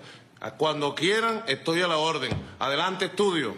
Claro, presidente, sí. Eh, yo no quería ponerle la parte seria porque estábamos como muy divertidos ya aquí, pero sí hay varias preguntas. Una de esas, pues que no tenemos como periodistas todos los días la posibilidad de, entrevistar tanto al presidente del partido como su primer vicepresidente y sus dirigentes eh, como Isis Ochoa, Jorge Rodríguez, Víctor Clark. Y quisiera que comentara, reflexionara sobre la transformación del partido, tomando en cuenta las diferentes circunstancias eh, por las cuales eh, hemos pasado, circunstancias sociales, políticas, económicas, también la partida física del comandante eterno Hugo Chávez. ¿Cuál ha sido la transformación, la evolución del Partido Socialista Unido de Venezuela en estos últimos años y qué significado tiene el partido no solo para nuestro país, sino también para fuera de nuestras fronteras, para los pueblos nuestroamericanos que también han levantado la bandera de la independencia, de la soberanía y de la unión latinoamericana. Yo creo que el Partido Socialista Unido de Venezuela es algo más que un partido. Es una fuerza política, cultural, popular, espiritual, ideológica. Y se ha demostrado que es una de las obras y de los legados más importantes que dejó conscientemente el comandante Chávez. Mucha conciencia tenía el comandante Chávez desde muchos años atrás de la necesidad de construir una poderosa fuerza política, un ejército político lo llamaba él, de cuadros que fueran cuadros líderes de pueblo, no cuadros elitescos no cuadros que se prefiguraran una vanguardia inexistente, sino que fueran vanguardia real de los procesos que nuestro pueblo permanentemente desarrolla en todas las coyunturas que nos ha tocado vivir. Por eso creo que el PSUV es algo más que un partido. ¿no? Creo que es un gran movimiento de movimientos, de fuerzas, de liderazgos. ¿no?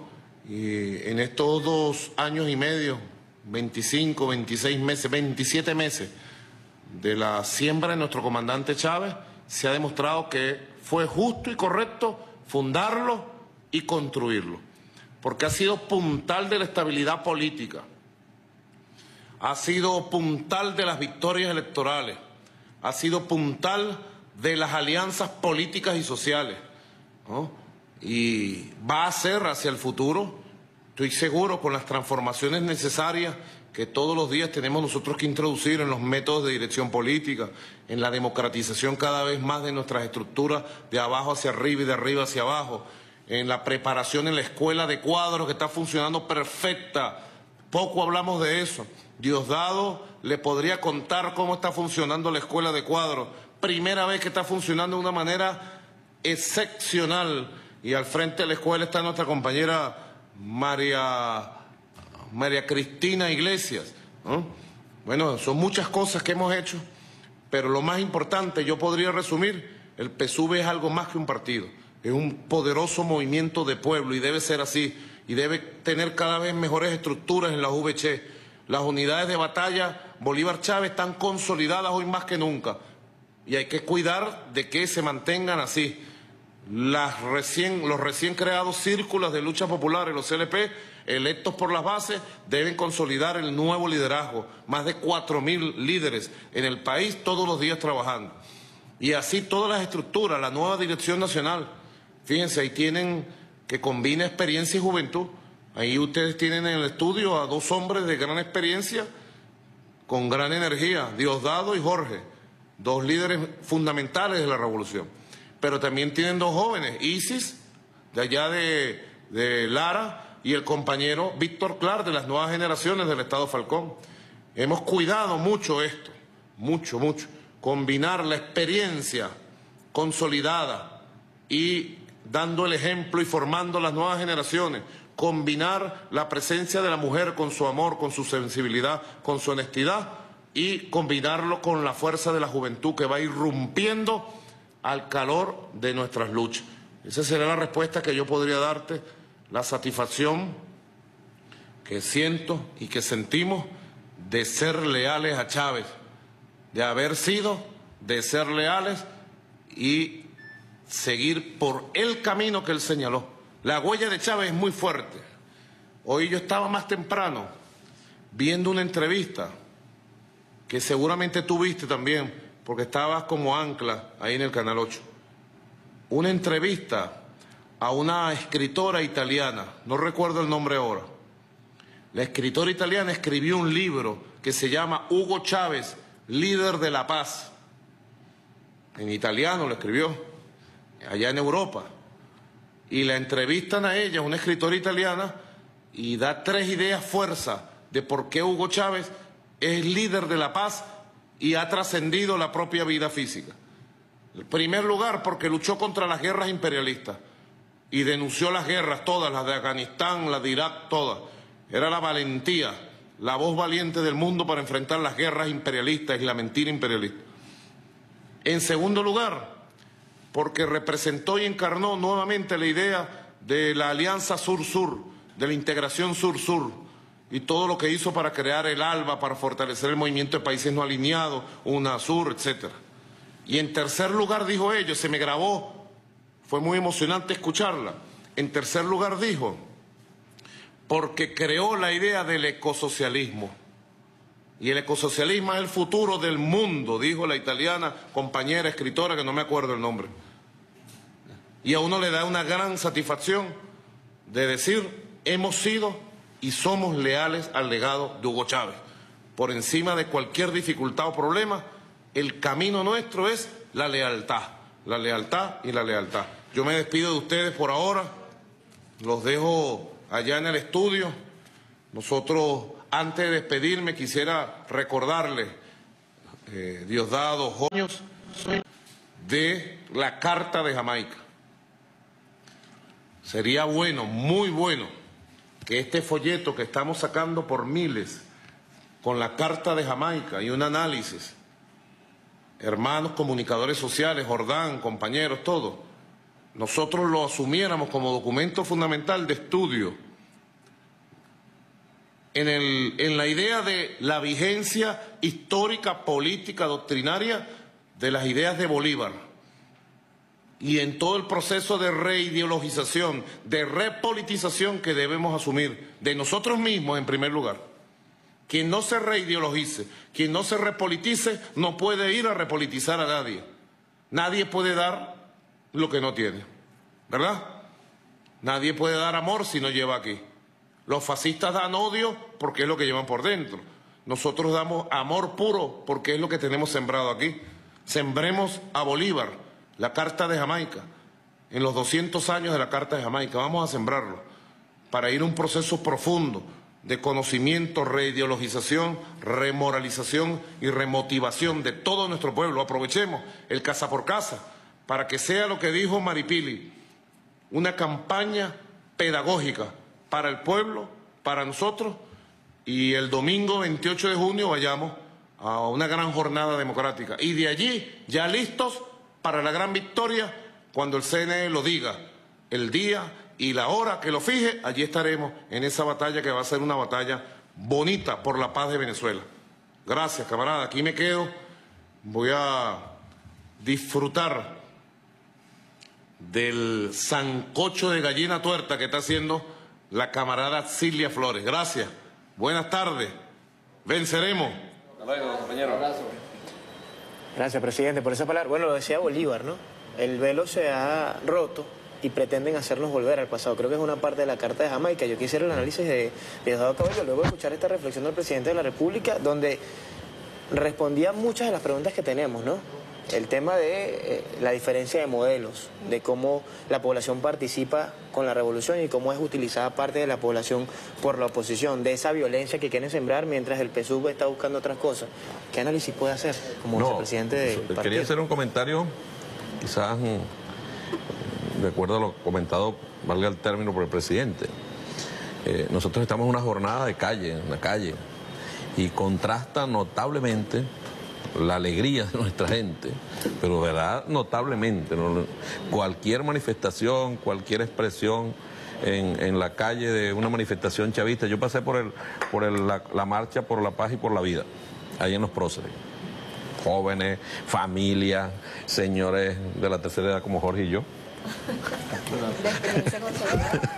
De la tercera edad, una cantidad de gente, pero con una alegría. Contrasta esto con la actitud declarativa, de gestos de los personeros de la oposición que está llena de amargura. De una amargura que tiene que ver con lo que ellos en verdad sienten por esta patria. Odio. Odio. Ellos destruyeron esta patria durante 40 años. Eh, cuando digo ellos, son ellos y sus derivados.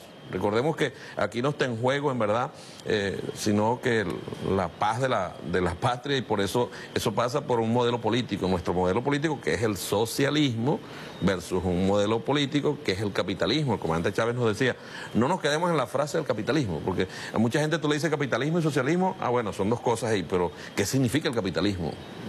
El capitalismo es total y absolutamente depredador.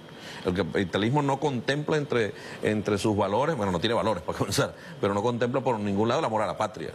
No contempla por ningún lado el sentirse parte de un país. Por ejemplo, que alguien como Hugo Chávez, nuestro querido comandante Hugo Chávez, haya entregado su vida por la patria, por el amor a su pueblo y a su patria. Eso, eso es un valor socialista, eso no lo vas a encontrar en el capitalismo jamás. Ellos ponen eh, la vida de los demás para sus intereses, para, beneficiar sus intereses. De manera que, que, cuando hablemos de socialismo y capitalismo y de nuestro modelo, la gente conoce las virtudes del, socialismo. Está en el plan de la patria uno el objetivo histórico que habla de, de reforzar el modelo socialista, seguir construyendo el modelo socialista, eh, versus un modelo capitalista decadente, pero que está allí que tiene defensores no solo aquí en Venezuela, en el mundo. El mundo entero se mueve en función del capitalismo, inclusive muchos de estos países que en algún momento se han llamado socialistas, hablo por, sobre todo de Europa, ¿no? vemos lo que, lo que ha hecho el Partido Socialista Obrero Español en, en, España, pues entregados a los valores del capitalismo y no hay eso, no hay vuelta atrás, eso no hay vuelta atrás. Ahora, esa diferencia de nuestra gente en la calle con ese amor, con ese entusiasmo, esa alegría. Mira, 1162 candidatos. Ahí van a salir principales y suplentes. Nosotros estamos seguros que al final de esta hermosa jornada, los ganadores van a ser los 1162, va a ser el Partido Socialista Unido de Venezuela. Y los, compañeros que no sean favorecidos por el voto popular se van a incorporar con alegría, con entusiasmo a, los comandos de campaña de los, de los que resulten favorecidos. Eso no lo vas a ver en la oposición en la oposición están peleando todavía porque no hicieron primarias en algunos circuitos. Todavía no han proclamado a los poquitos donde hicieron primarias, todavía no han proclamado a los candidatos que ganaron. No se sabe todavía. No se sabe, están con los cuchillos no. Hace dos semanas eso. No, sí. El 17 de mayo. Debe haberse sí, El 17, más de dos semanas, porque yo creo que ellos están esperando ahorita es a ver si pagan los 150 mil bolívares. 17 millones que se embolsilló. A ver, a ver quién es. Y, y, y contrasta eso, y quería dejarlo bien claro, nuestra alegría, mira, en las circunstancias que sea. Aquí cuando nos tocó a nosotros trasladar al comandante Hugo Chávez del hospital militar a la academia militar, una manifestación gigantesca, de lo más, más fuerte de movilización que ha habido aquí. Nuestra gente iba con un dolor, pero con una disposición para ese combate, porque era un combate, mira, eh, para, para, nosotros no significó cualquier cosa eh, sentir que ya no teníamos Hugo Chávez, pero un combate, y fuimos al combate, y después de todas estas batallas, la recompensa que, que le queda al pueblo de Venezuela es la victoria, no hay otro. Es la victoria, la victoria popular, la victoria de un proyecto, la victoria de una idea, la, la victoria de un pueblo que ha decidido ser libre. Ser libre definitivamente. Y no, mira, no hay forma ni manera, no, no valdrán miles de campañas. Y la derecha venezolana, esa que anda por ahí eh, con su amargura, se van con su cara amargado por una iglesia, compadre, qué, pena, ¿no? Qué pena, yo no sé, las personas que, que, practican estas, que son practicantes de, de, estas religiones, pero, pero cuando la gente va a alabar a su Dios, va con alegría, va con alegría, digo yo, ¿no?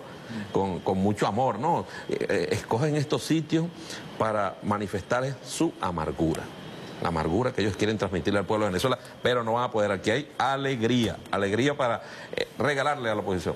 Y lo otro que quería rapidito, que el presidente habló del ecosocialismo, está en el plan de la patria, hermano. El comandante Chávez está, es tan grande es tan grande. Está el plan de la patria. Gran objetivo histórico número 5, contribuir con la preservación de la vida en el planeta y la salvación de la especie humana. Cuando eso salió, ¿qué hizo la derecha? Se burlaron, se, rieron. Los tipos, los tipos, perdón, es una mala expresión. Ellos se burlaron y ellas se burlaron. Ay, qué, qué, ridículo Chávez va a poner preservar. ¿Qué vamos a hacer nosotros de Venezuela para salvar el planeta? Nosotros creemos en eso. Está aquí en el plan de la patria, aprobado ley en la Asamblea Nacional. Antes de irme quiero, antes de irme no, hasta antes de darle el pase a otro que ha hablado mucho, saludar a, a Desiree que dijo que no la saludaran. Yo pre- presenté una foto de Desiree en estos días en el programa Linda y Bella. ¿Usted la viste, verdad? Lin, no, yo sé que eres linda y bella, mamá. pero una foto linda y bella de la semana pasada, esa foto. Quería saludar a Desiree, nuestra ministra, nuestra querida compañera. ¿Quién le toca a Isi? Sí, me, me dijeron.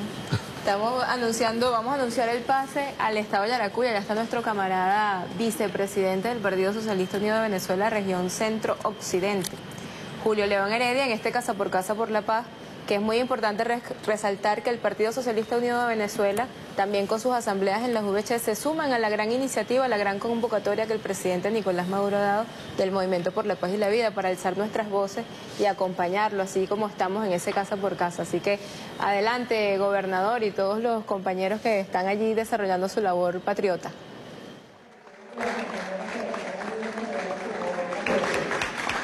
Sí, bueno, un saludo bolivariano desde acá de nuestro estado Yaracuy. A usted, comandante presidente Nicolás Maduro, este pueblo alegre, lleno de felicidad que nos acompaña con nuestros precandidatos y precandidatos en una jornada de casa por casa por la paz y por la patria. Realmente nos encontramos en este momento, fíjense, en una obra majestuosa de la revolución bolivariana, de la gran misión Vivienda Venezuela, como es la ciudadela comandante eterno Hugo Chávez Frías. 2.520 apartamentos. Tenemos acá nuestro pueblo contento, feliz. Una obra que la inició nuestro comandante eterno Hugo Chávez y usted, presidente Nicolás Maduro, en gobierno eficiencia en la calle, eh, los recursos que faltaban, pues permitió culminar esta, esta obra tan, tan importante, que es que hay que destacar recursos que fueron a la Asamblea Nacional, los diputados, allí desde aquí nuestro saludo a nuestro primer pres- vicepresidente, Diosdado Cabello, presidente de la Asamblea Nacional, al compañero Víctor Clara, Jorge Rodríguez, a la compañera Isis.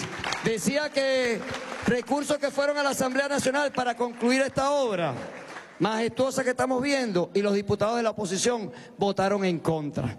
Y aquí los diputados, gracias a Dios que tenemos diputados revolucionarios, patriotas, diputados leales al pueblo y al legado de Chávez, aprobaron los recursos y mira, aquí está nuestro pueblo. Bueno, estamos en este contacto casa por casa, vamos a visitar varios de los apartamentos que tenemos acá desde muy temprano, hicimos asambleas de VC, bueno, aquí para que tengamos una idea, son 105 edificios y estamos hablando de 2.520 apartamentos, estamos en la zona 17, en el edificio número 5 y bueno, vamos con nuestros candidatos y candidatas, aquí están los candidatos del pueblo, escogidos por la base, con la alegría, con nuestra VC, vamos entonces aquí a contactar a una de las familias para que ellos mismos sean los protagonistas. Le doy el derecho a palabra muy breve aquí a nuestro compañero Juan Díaz, uno de los compatriotas que tiene la responsabilidad por parte de la base de ser en esta medida precandidato. Un mensaje allí, Juan, y estamos entrando aquí en este casa por casa con todos los demás compañeros, saludando a esta familia. Juan, tu mensaje para Venezuela, para el país, cómo estamos en este casa por casa, por la paz, por la vida, por la patria. Bueno, gracias, ciudadano gobernador, vicepresidente del partido. Gracias, gobernante presidente Nicolás Maduro. Hoy, un extraordinario casa por casa. Nos hemos desplegado en el circuito 3, en el caso de San Felipe. No es poca cosa que estemos en la ciudadela comandante Hugo Chávez. Un extraordinario complejo habitacional que no solo demuestra los caraduras, los caratablas de la oposición que todavía a esta altura no reconocen este logro como es el logro de la gran misión Vivienda Venezuela. La juventud venezolana ha asumido el compromiso después del proceso de postulación de decirle, comandante presidente Nicolás Maduro, la juventud venezolana va a la Asamblea Nacional a seguir con el legado de nuestro compañero Robert Serra, diputado Martín, a hacer irreversible la revolución bolivariana. Bueno, y vamos a escuchar aquí un saludo de parte de la familia Guanipa Pérez, un beneficiario de esta gran obra de la Gran Misión Vivienda Venezuela. Guanipa es, importante decirlo, campeón en billar, tanto en Venezuela, Panamericano y en el mundo. Un gran deportista que ha representado a Yaracuy y a Venezuela. Su esposa quiere dar su mensaje en este contacto casa por casa y también manifestando la felicidad de tener acá su vivienda, gracias al legado de Chávez, gracias al presidente Nicolás Maduro y a la revolución y consciente que por ello tenemos que salir a apoyar a nuestros candidatos para que podamos seguir profundizando la gran misión Vivienda Venezuela y todas las misiones sociales. Tu saludo. Bueno, un saludo a toda Venezuela. Este, me siento muy contenta, muy emocionada porque gracias a, primeramente a Dios por mi vivienda, a nuestro presidente Chávez, nuestro presidente Maduro, nuestro gobernador Julio León. Nos sentimos muy alegres, muy contentas porque solamente la, la revolución se puede lograr esto. Un mensaje rápidamente para el pueblo, porque es importante que salgamos a apoyar los candidatos de la patria, los candidatos de la paz, los candidatos que están rodillas en tierra con el legado de Chávez, los candidatos del PSV y los candidatos, ¿verdad?, que están para apoyar a nuestro presidente Nicolás Maduro y poder siguiendo, seguir logrando obras como esta. Es muy importante que salgan a votar este 28 para que, bueno, porque, porque solamente con la revolución se puede lograr todo lo que estamos viendo en este, este momento. Bueno, excelente. Vamos a ir ahora a otro apartamento de esta gran obra. Repito, la Ciudadela, Comandante Eterno, Hugo Chávez. 2.520 apartamentos, 105 edificios, un convenio de Irán, Venezuela. Y bueno, por aquí nos acompaña, voy a dar el derecho a palabra. Ahora, fíjense, la juventud también le voy a dar el derecho a palabra a una mujer, a la compañera Aide Huérfano, que está por aquí, para que también nos dé su saludo. Aide, candidata también por el circuito número 3. Es importante destacarlo, se me había olvidado mencionarlo. Estos son los candidatos del circuito número 3 que abarca los municipios San Felipe, Nirgua, Manuel Monge y. Ahora nos encontramos en el apartamento 01. Bueno, Aide, tu saludo para el pueblo. Bueno, y aquí estamos, nos está recibiendo la familia.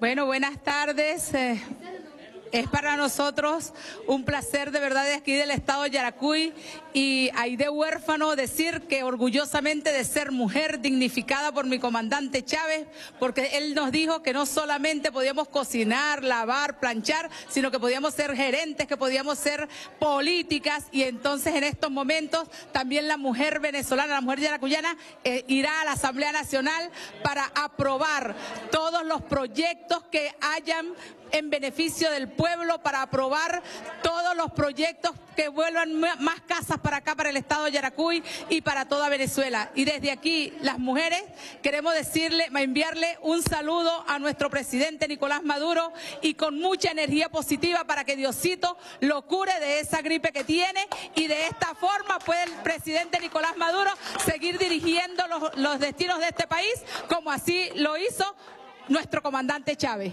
Bueno, la familia...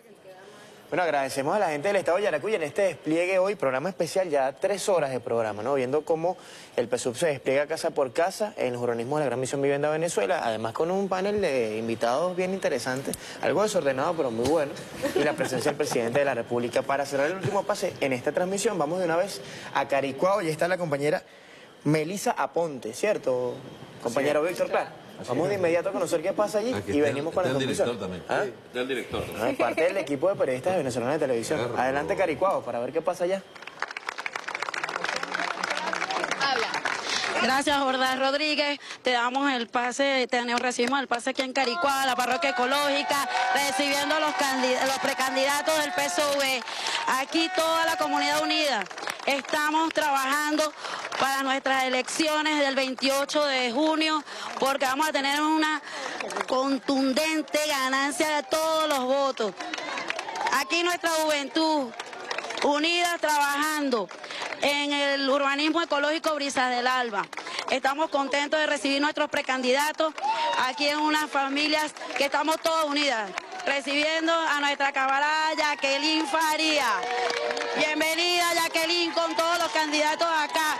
Vamos a hacer nuestro casa a casa, toda la comunidad aquí unida, trabajando por el PSU.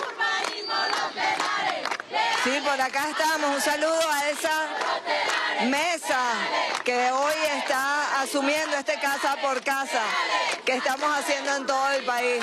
Se siente la fuerza de la revolución bolivariana, la fuerza del Partido Socialista Unido de Venezuela. Y aquí estamos, en este urbanismo Brisas del Alba, nombre escogido por la comunidad organizada. Brisas del Alba, que tiene siete edificios, 592 viviendas. Ya organizados en comunas. Tienen la comuna los luchadores del buen vivir. Luchadores del buen vivir. Es una comuna organizada que está garantizando que no solamente este derecho que ya está consagrado en la Constitución, la vivienda, sino todos los derechos que garantiza la revolución bolivariana. La educación, las canaimitas, allá tenemos la canaimita tomando fotos. Bueno, todo esto es en, en revolución. Fíjense, aquí está la canaima de nuestro joven tomando fotos. Esto, esto es en revolución. La gran misión Vivienda Venezuela no se queda en entregar la vivienda. Viene la organización comunitaria. Bueno, estamos acá todos los precandidatos y precandidatas, las jóvenes, los jóvenes que están acá recorriendo casa por casa, conversando con la familia, recogemos los papelitos, recogemos las inquietudes y una cosa muy importante que recogemos aquí es el agradecimiento. En todas partes que vamos, en los urbanismos, en los barrios, recogemos agradecimiento a la revolución bolivariana. Queremos entonces que converse ahora una de nuestras precandidatas jóvenes que tenemos por acá. Mayerlin, ¿está por aquí? Buenas tardes, aquí estamos recorriendo nuestros barrios en el casa por casa, sabiendo las necesidades de las personas. Como dijo nuestro presidente, bueno, hay que parir las soluciones. Hay que buscar la manera de solventar los problemas de esas personas. Y bueno, aquí estamos todos los candidatos unidos, somos 20 acá en el circuito 5, la mitad somos jóvenes. Los jóvenes que vamos a salir a defender nuestra patria, los jóvenes que vamos a salir a defender nuestros ideales y a a seguir con ese legado del presidente Chávez. No nos vamos a quedar nada más con que la derecha se monte en este poder. Nosotros vamos a defender las asambleas nacionales, porque aquí estamos todos juntos y unidos en el Partido Socialista Unido de Venezuela. Bueno, que tengan todos muy buenas tardes. Somos parte de la juventud del circuito número 5. esa juventud que se levanta con mucha fuerza, con mucho entusiasmo, con mucha alegría, pues nosotros como ya sabemos estamos trabajando por la revolución y para la revolución, haciendo un recorrido casa por casa durante todo este tiempo que nos han dado de campaña, recorriendo la parroquia Antímano, Caricuao, Macarao, El Paraíso y La Vega, y siempre demostrando que los jóvenes podemos llegar a ser grandes y que verdaderamente podemos hacer patria. Ya callaron una voz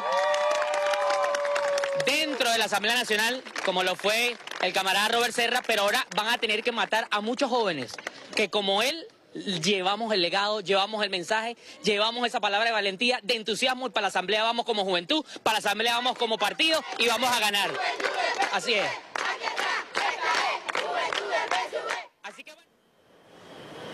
Bueno, es el ánimo, son las expresiones desde Caricuao, aquí mismo en Caracas, pero ya nos queda muy poco tiempo para culminar este contacto con Maduro, este con el mazo dando especial que tenemos el día de hoy.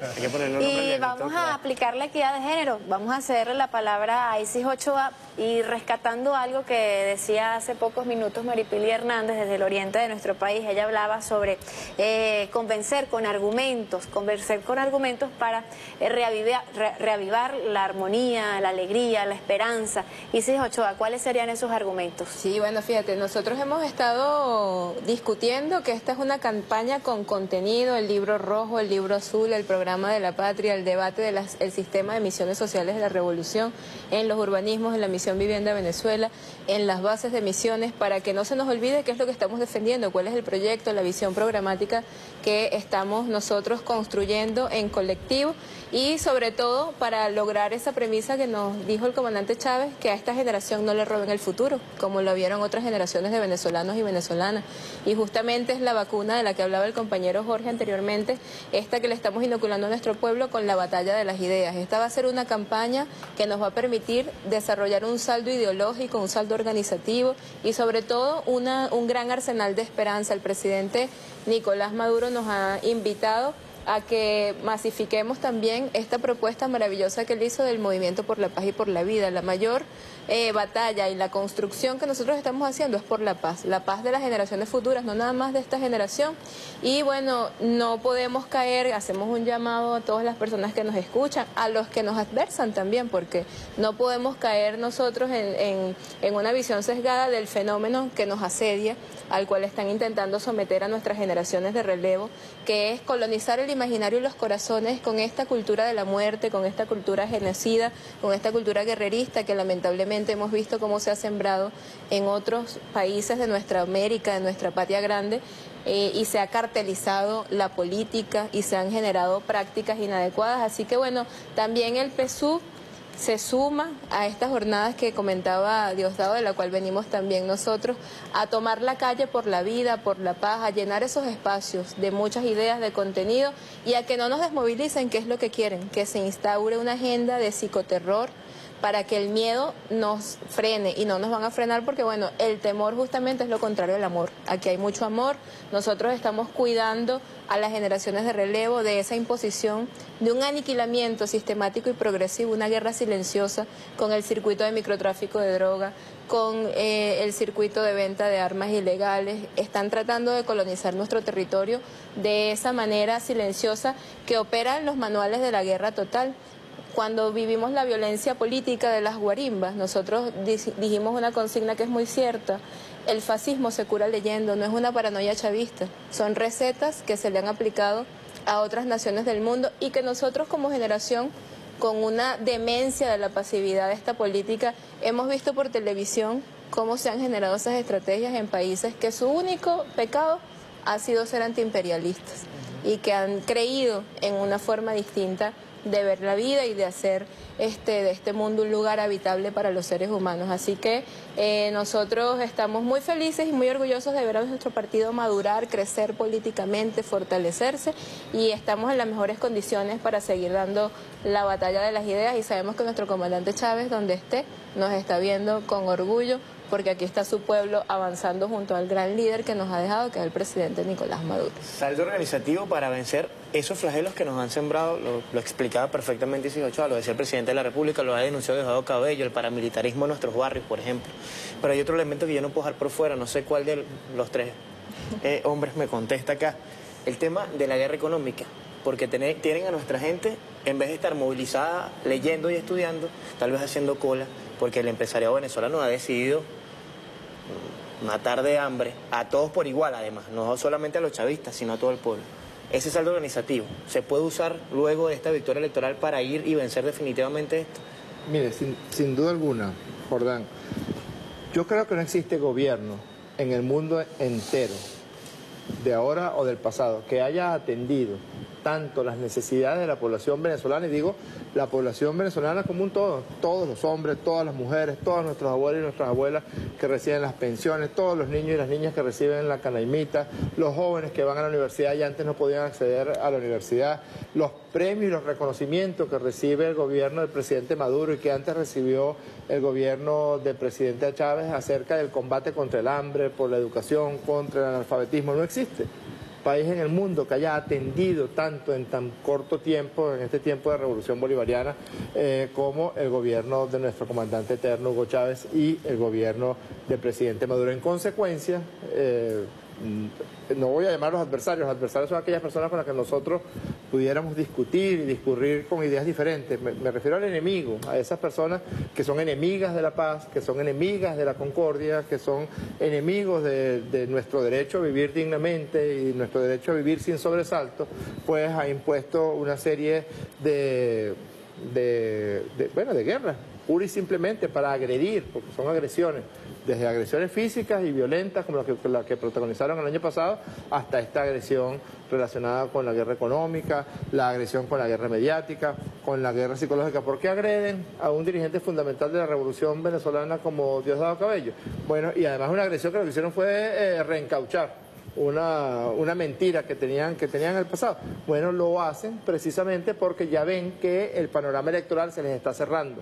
Y esa es una preocupación que yo tengo como el panorama electoral se les está cerrando, fue un fracaso estruendoso en, las llamadas primarias que tuvieron el 17 de mayo. Qué casualidad que lo dijimos en una rueda de prensa ese día lunes 18 de mayo. Ahorita vienen otra vez con la guerra sucia y en pocas horas habían lanzado... Al día siguiente, lanzaron la, infamia contra nuestro hermano Diosdado Cabello. Es preocupante que se les vaya cerrando el panorama electoral y por tanto nosotros tenemos que ir también utilizando todas las formas de lucha, para utilizar un término leninista, prepararnos para las elecciones sin caer en triunfalismo. Es un mal consejero el triunfalismo en unas elecciones, asumir que esta es una victoria que hay que conquistar y que tiene que ser una victoria inmensa del pueblo que siempre nos deje saldos organizativos para las otras formas de la lucha. Como tú bien decías, estos 1.162 candidatos y candidatas, bueno, ya son unos cuadros, se conforman además en los comandos de campaña de los candidatos que resulten favorecidos por el voto del pueblo. La movilización del pueblo el 28 de junio, de todo el pueblo venezolano, es una, es una forma de detenerlo, un fenómeno de detención de la violencia por parte de estos sectores. La defensa de la revolución bolivariana, lo otro es la barbarie. Lo otro es regresar a esas situaciones donde se agotaba la perrarina en nuestros sectores populares. Lo otro es regresar a un señor gerente de una empresa que vendía perrarina y decía, estamos pensando en la opción de vender perrarina para consumo humano, porque nos parece que es una buena estrategia de negocio. Lo otro es, de nuevo, los, los, jóvenes saliendo de la universidad porque no hay cupo o lanzándose en huelgas para solicitar cupo. Lo otro es la barbarie. La verdadera construcción de la patria está aquí, en el chavismo, en la revolución, en el gobierno del presidente Nicolás Maduro. Bueno. Punto y final. Ahora sí, me dice coordinador. Por ahora. Por ahora. Nos vemos el sábado, señor Víctor Clar. Seguramente. Bueno, muchísimas gracias. Extraordinario programa y también decir que de aquí de los estudios Jorge Rodríguez se compromete con nuestro sancocho que también el único sancocho que falta fue el de aquí. No va a hacer nada más en todos los circuitos, sino aquí también en Caracas. Gracias en verdad por la invitación. No, gracias a usted por acompañarnos. Ah, ¿pero quién invitó aquí? ¿Quién nos invitó? A Víctor nos invitó. Mira, las etiquetas. Las etiquetas a seguir tuiteando todo el mundo. No sé cuántos, más casi 700 mil. Y llevó al contador hasta hace nada. Vamos a colocarla, ahí están. 674.597 interacciones en Twitter. Sigue el Estado Miranda Puntero y las etiquetas de esas dos que están ahí. De su pueblo en la calle y casa por casa por la paz. Muchísimas gracias, Víctor Clark, Isis Ochoa, Jorge Rodríguez, Diosdado Cabello, por acompañarnos en este programa especialísimo de la participación de nuestro pueblo bolivariano. Gracias a ti. Gracias a ti también. Nos vemos yo, por mi parte, espero hasta el lunes a las seis y media en el desayuno. Pues, yo hasta mañana.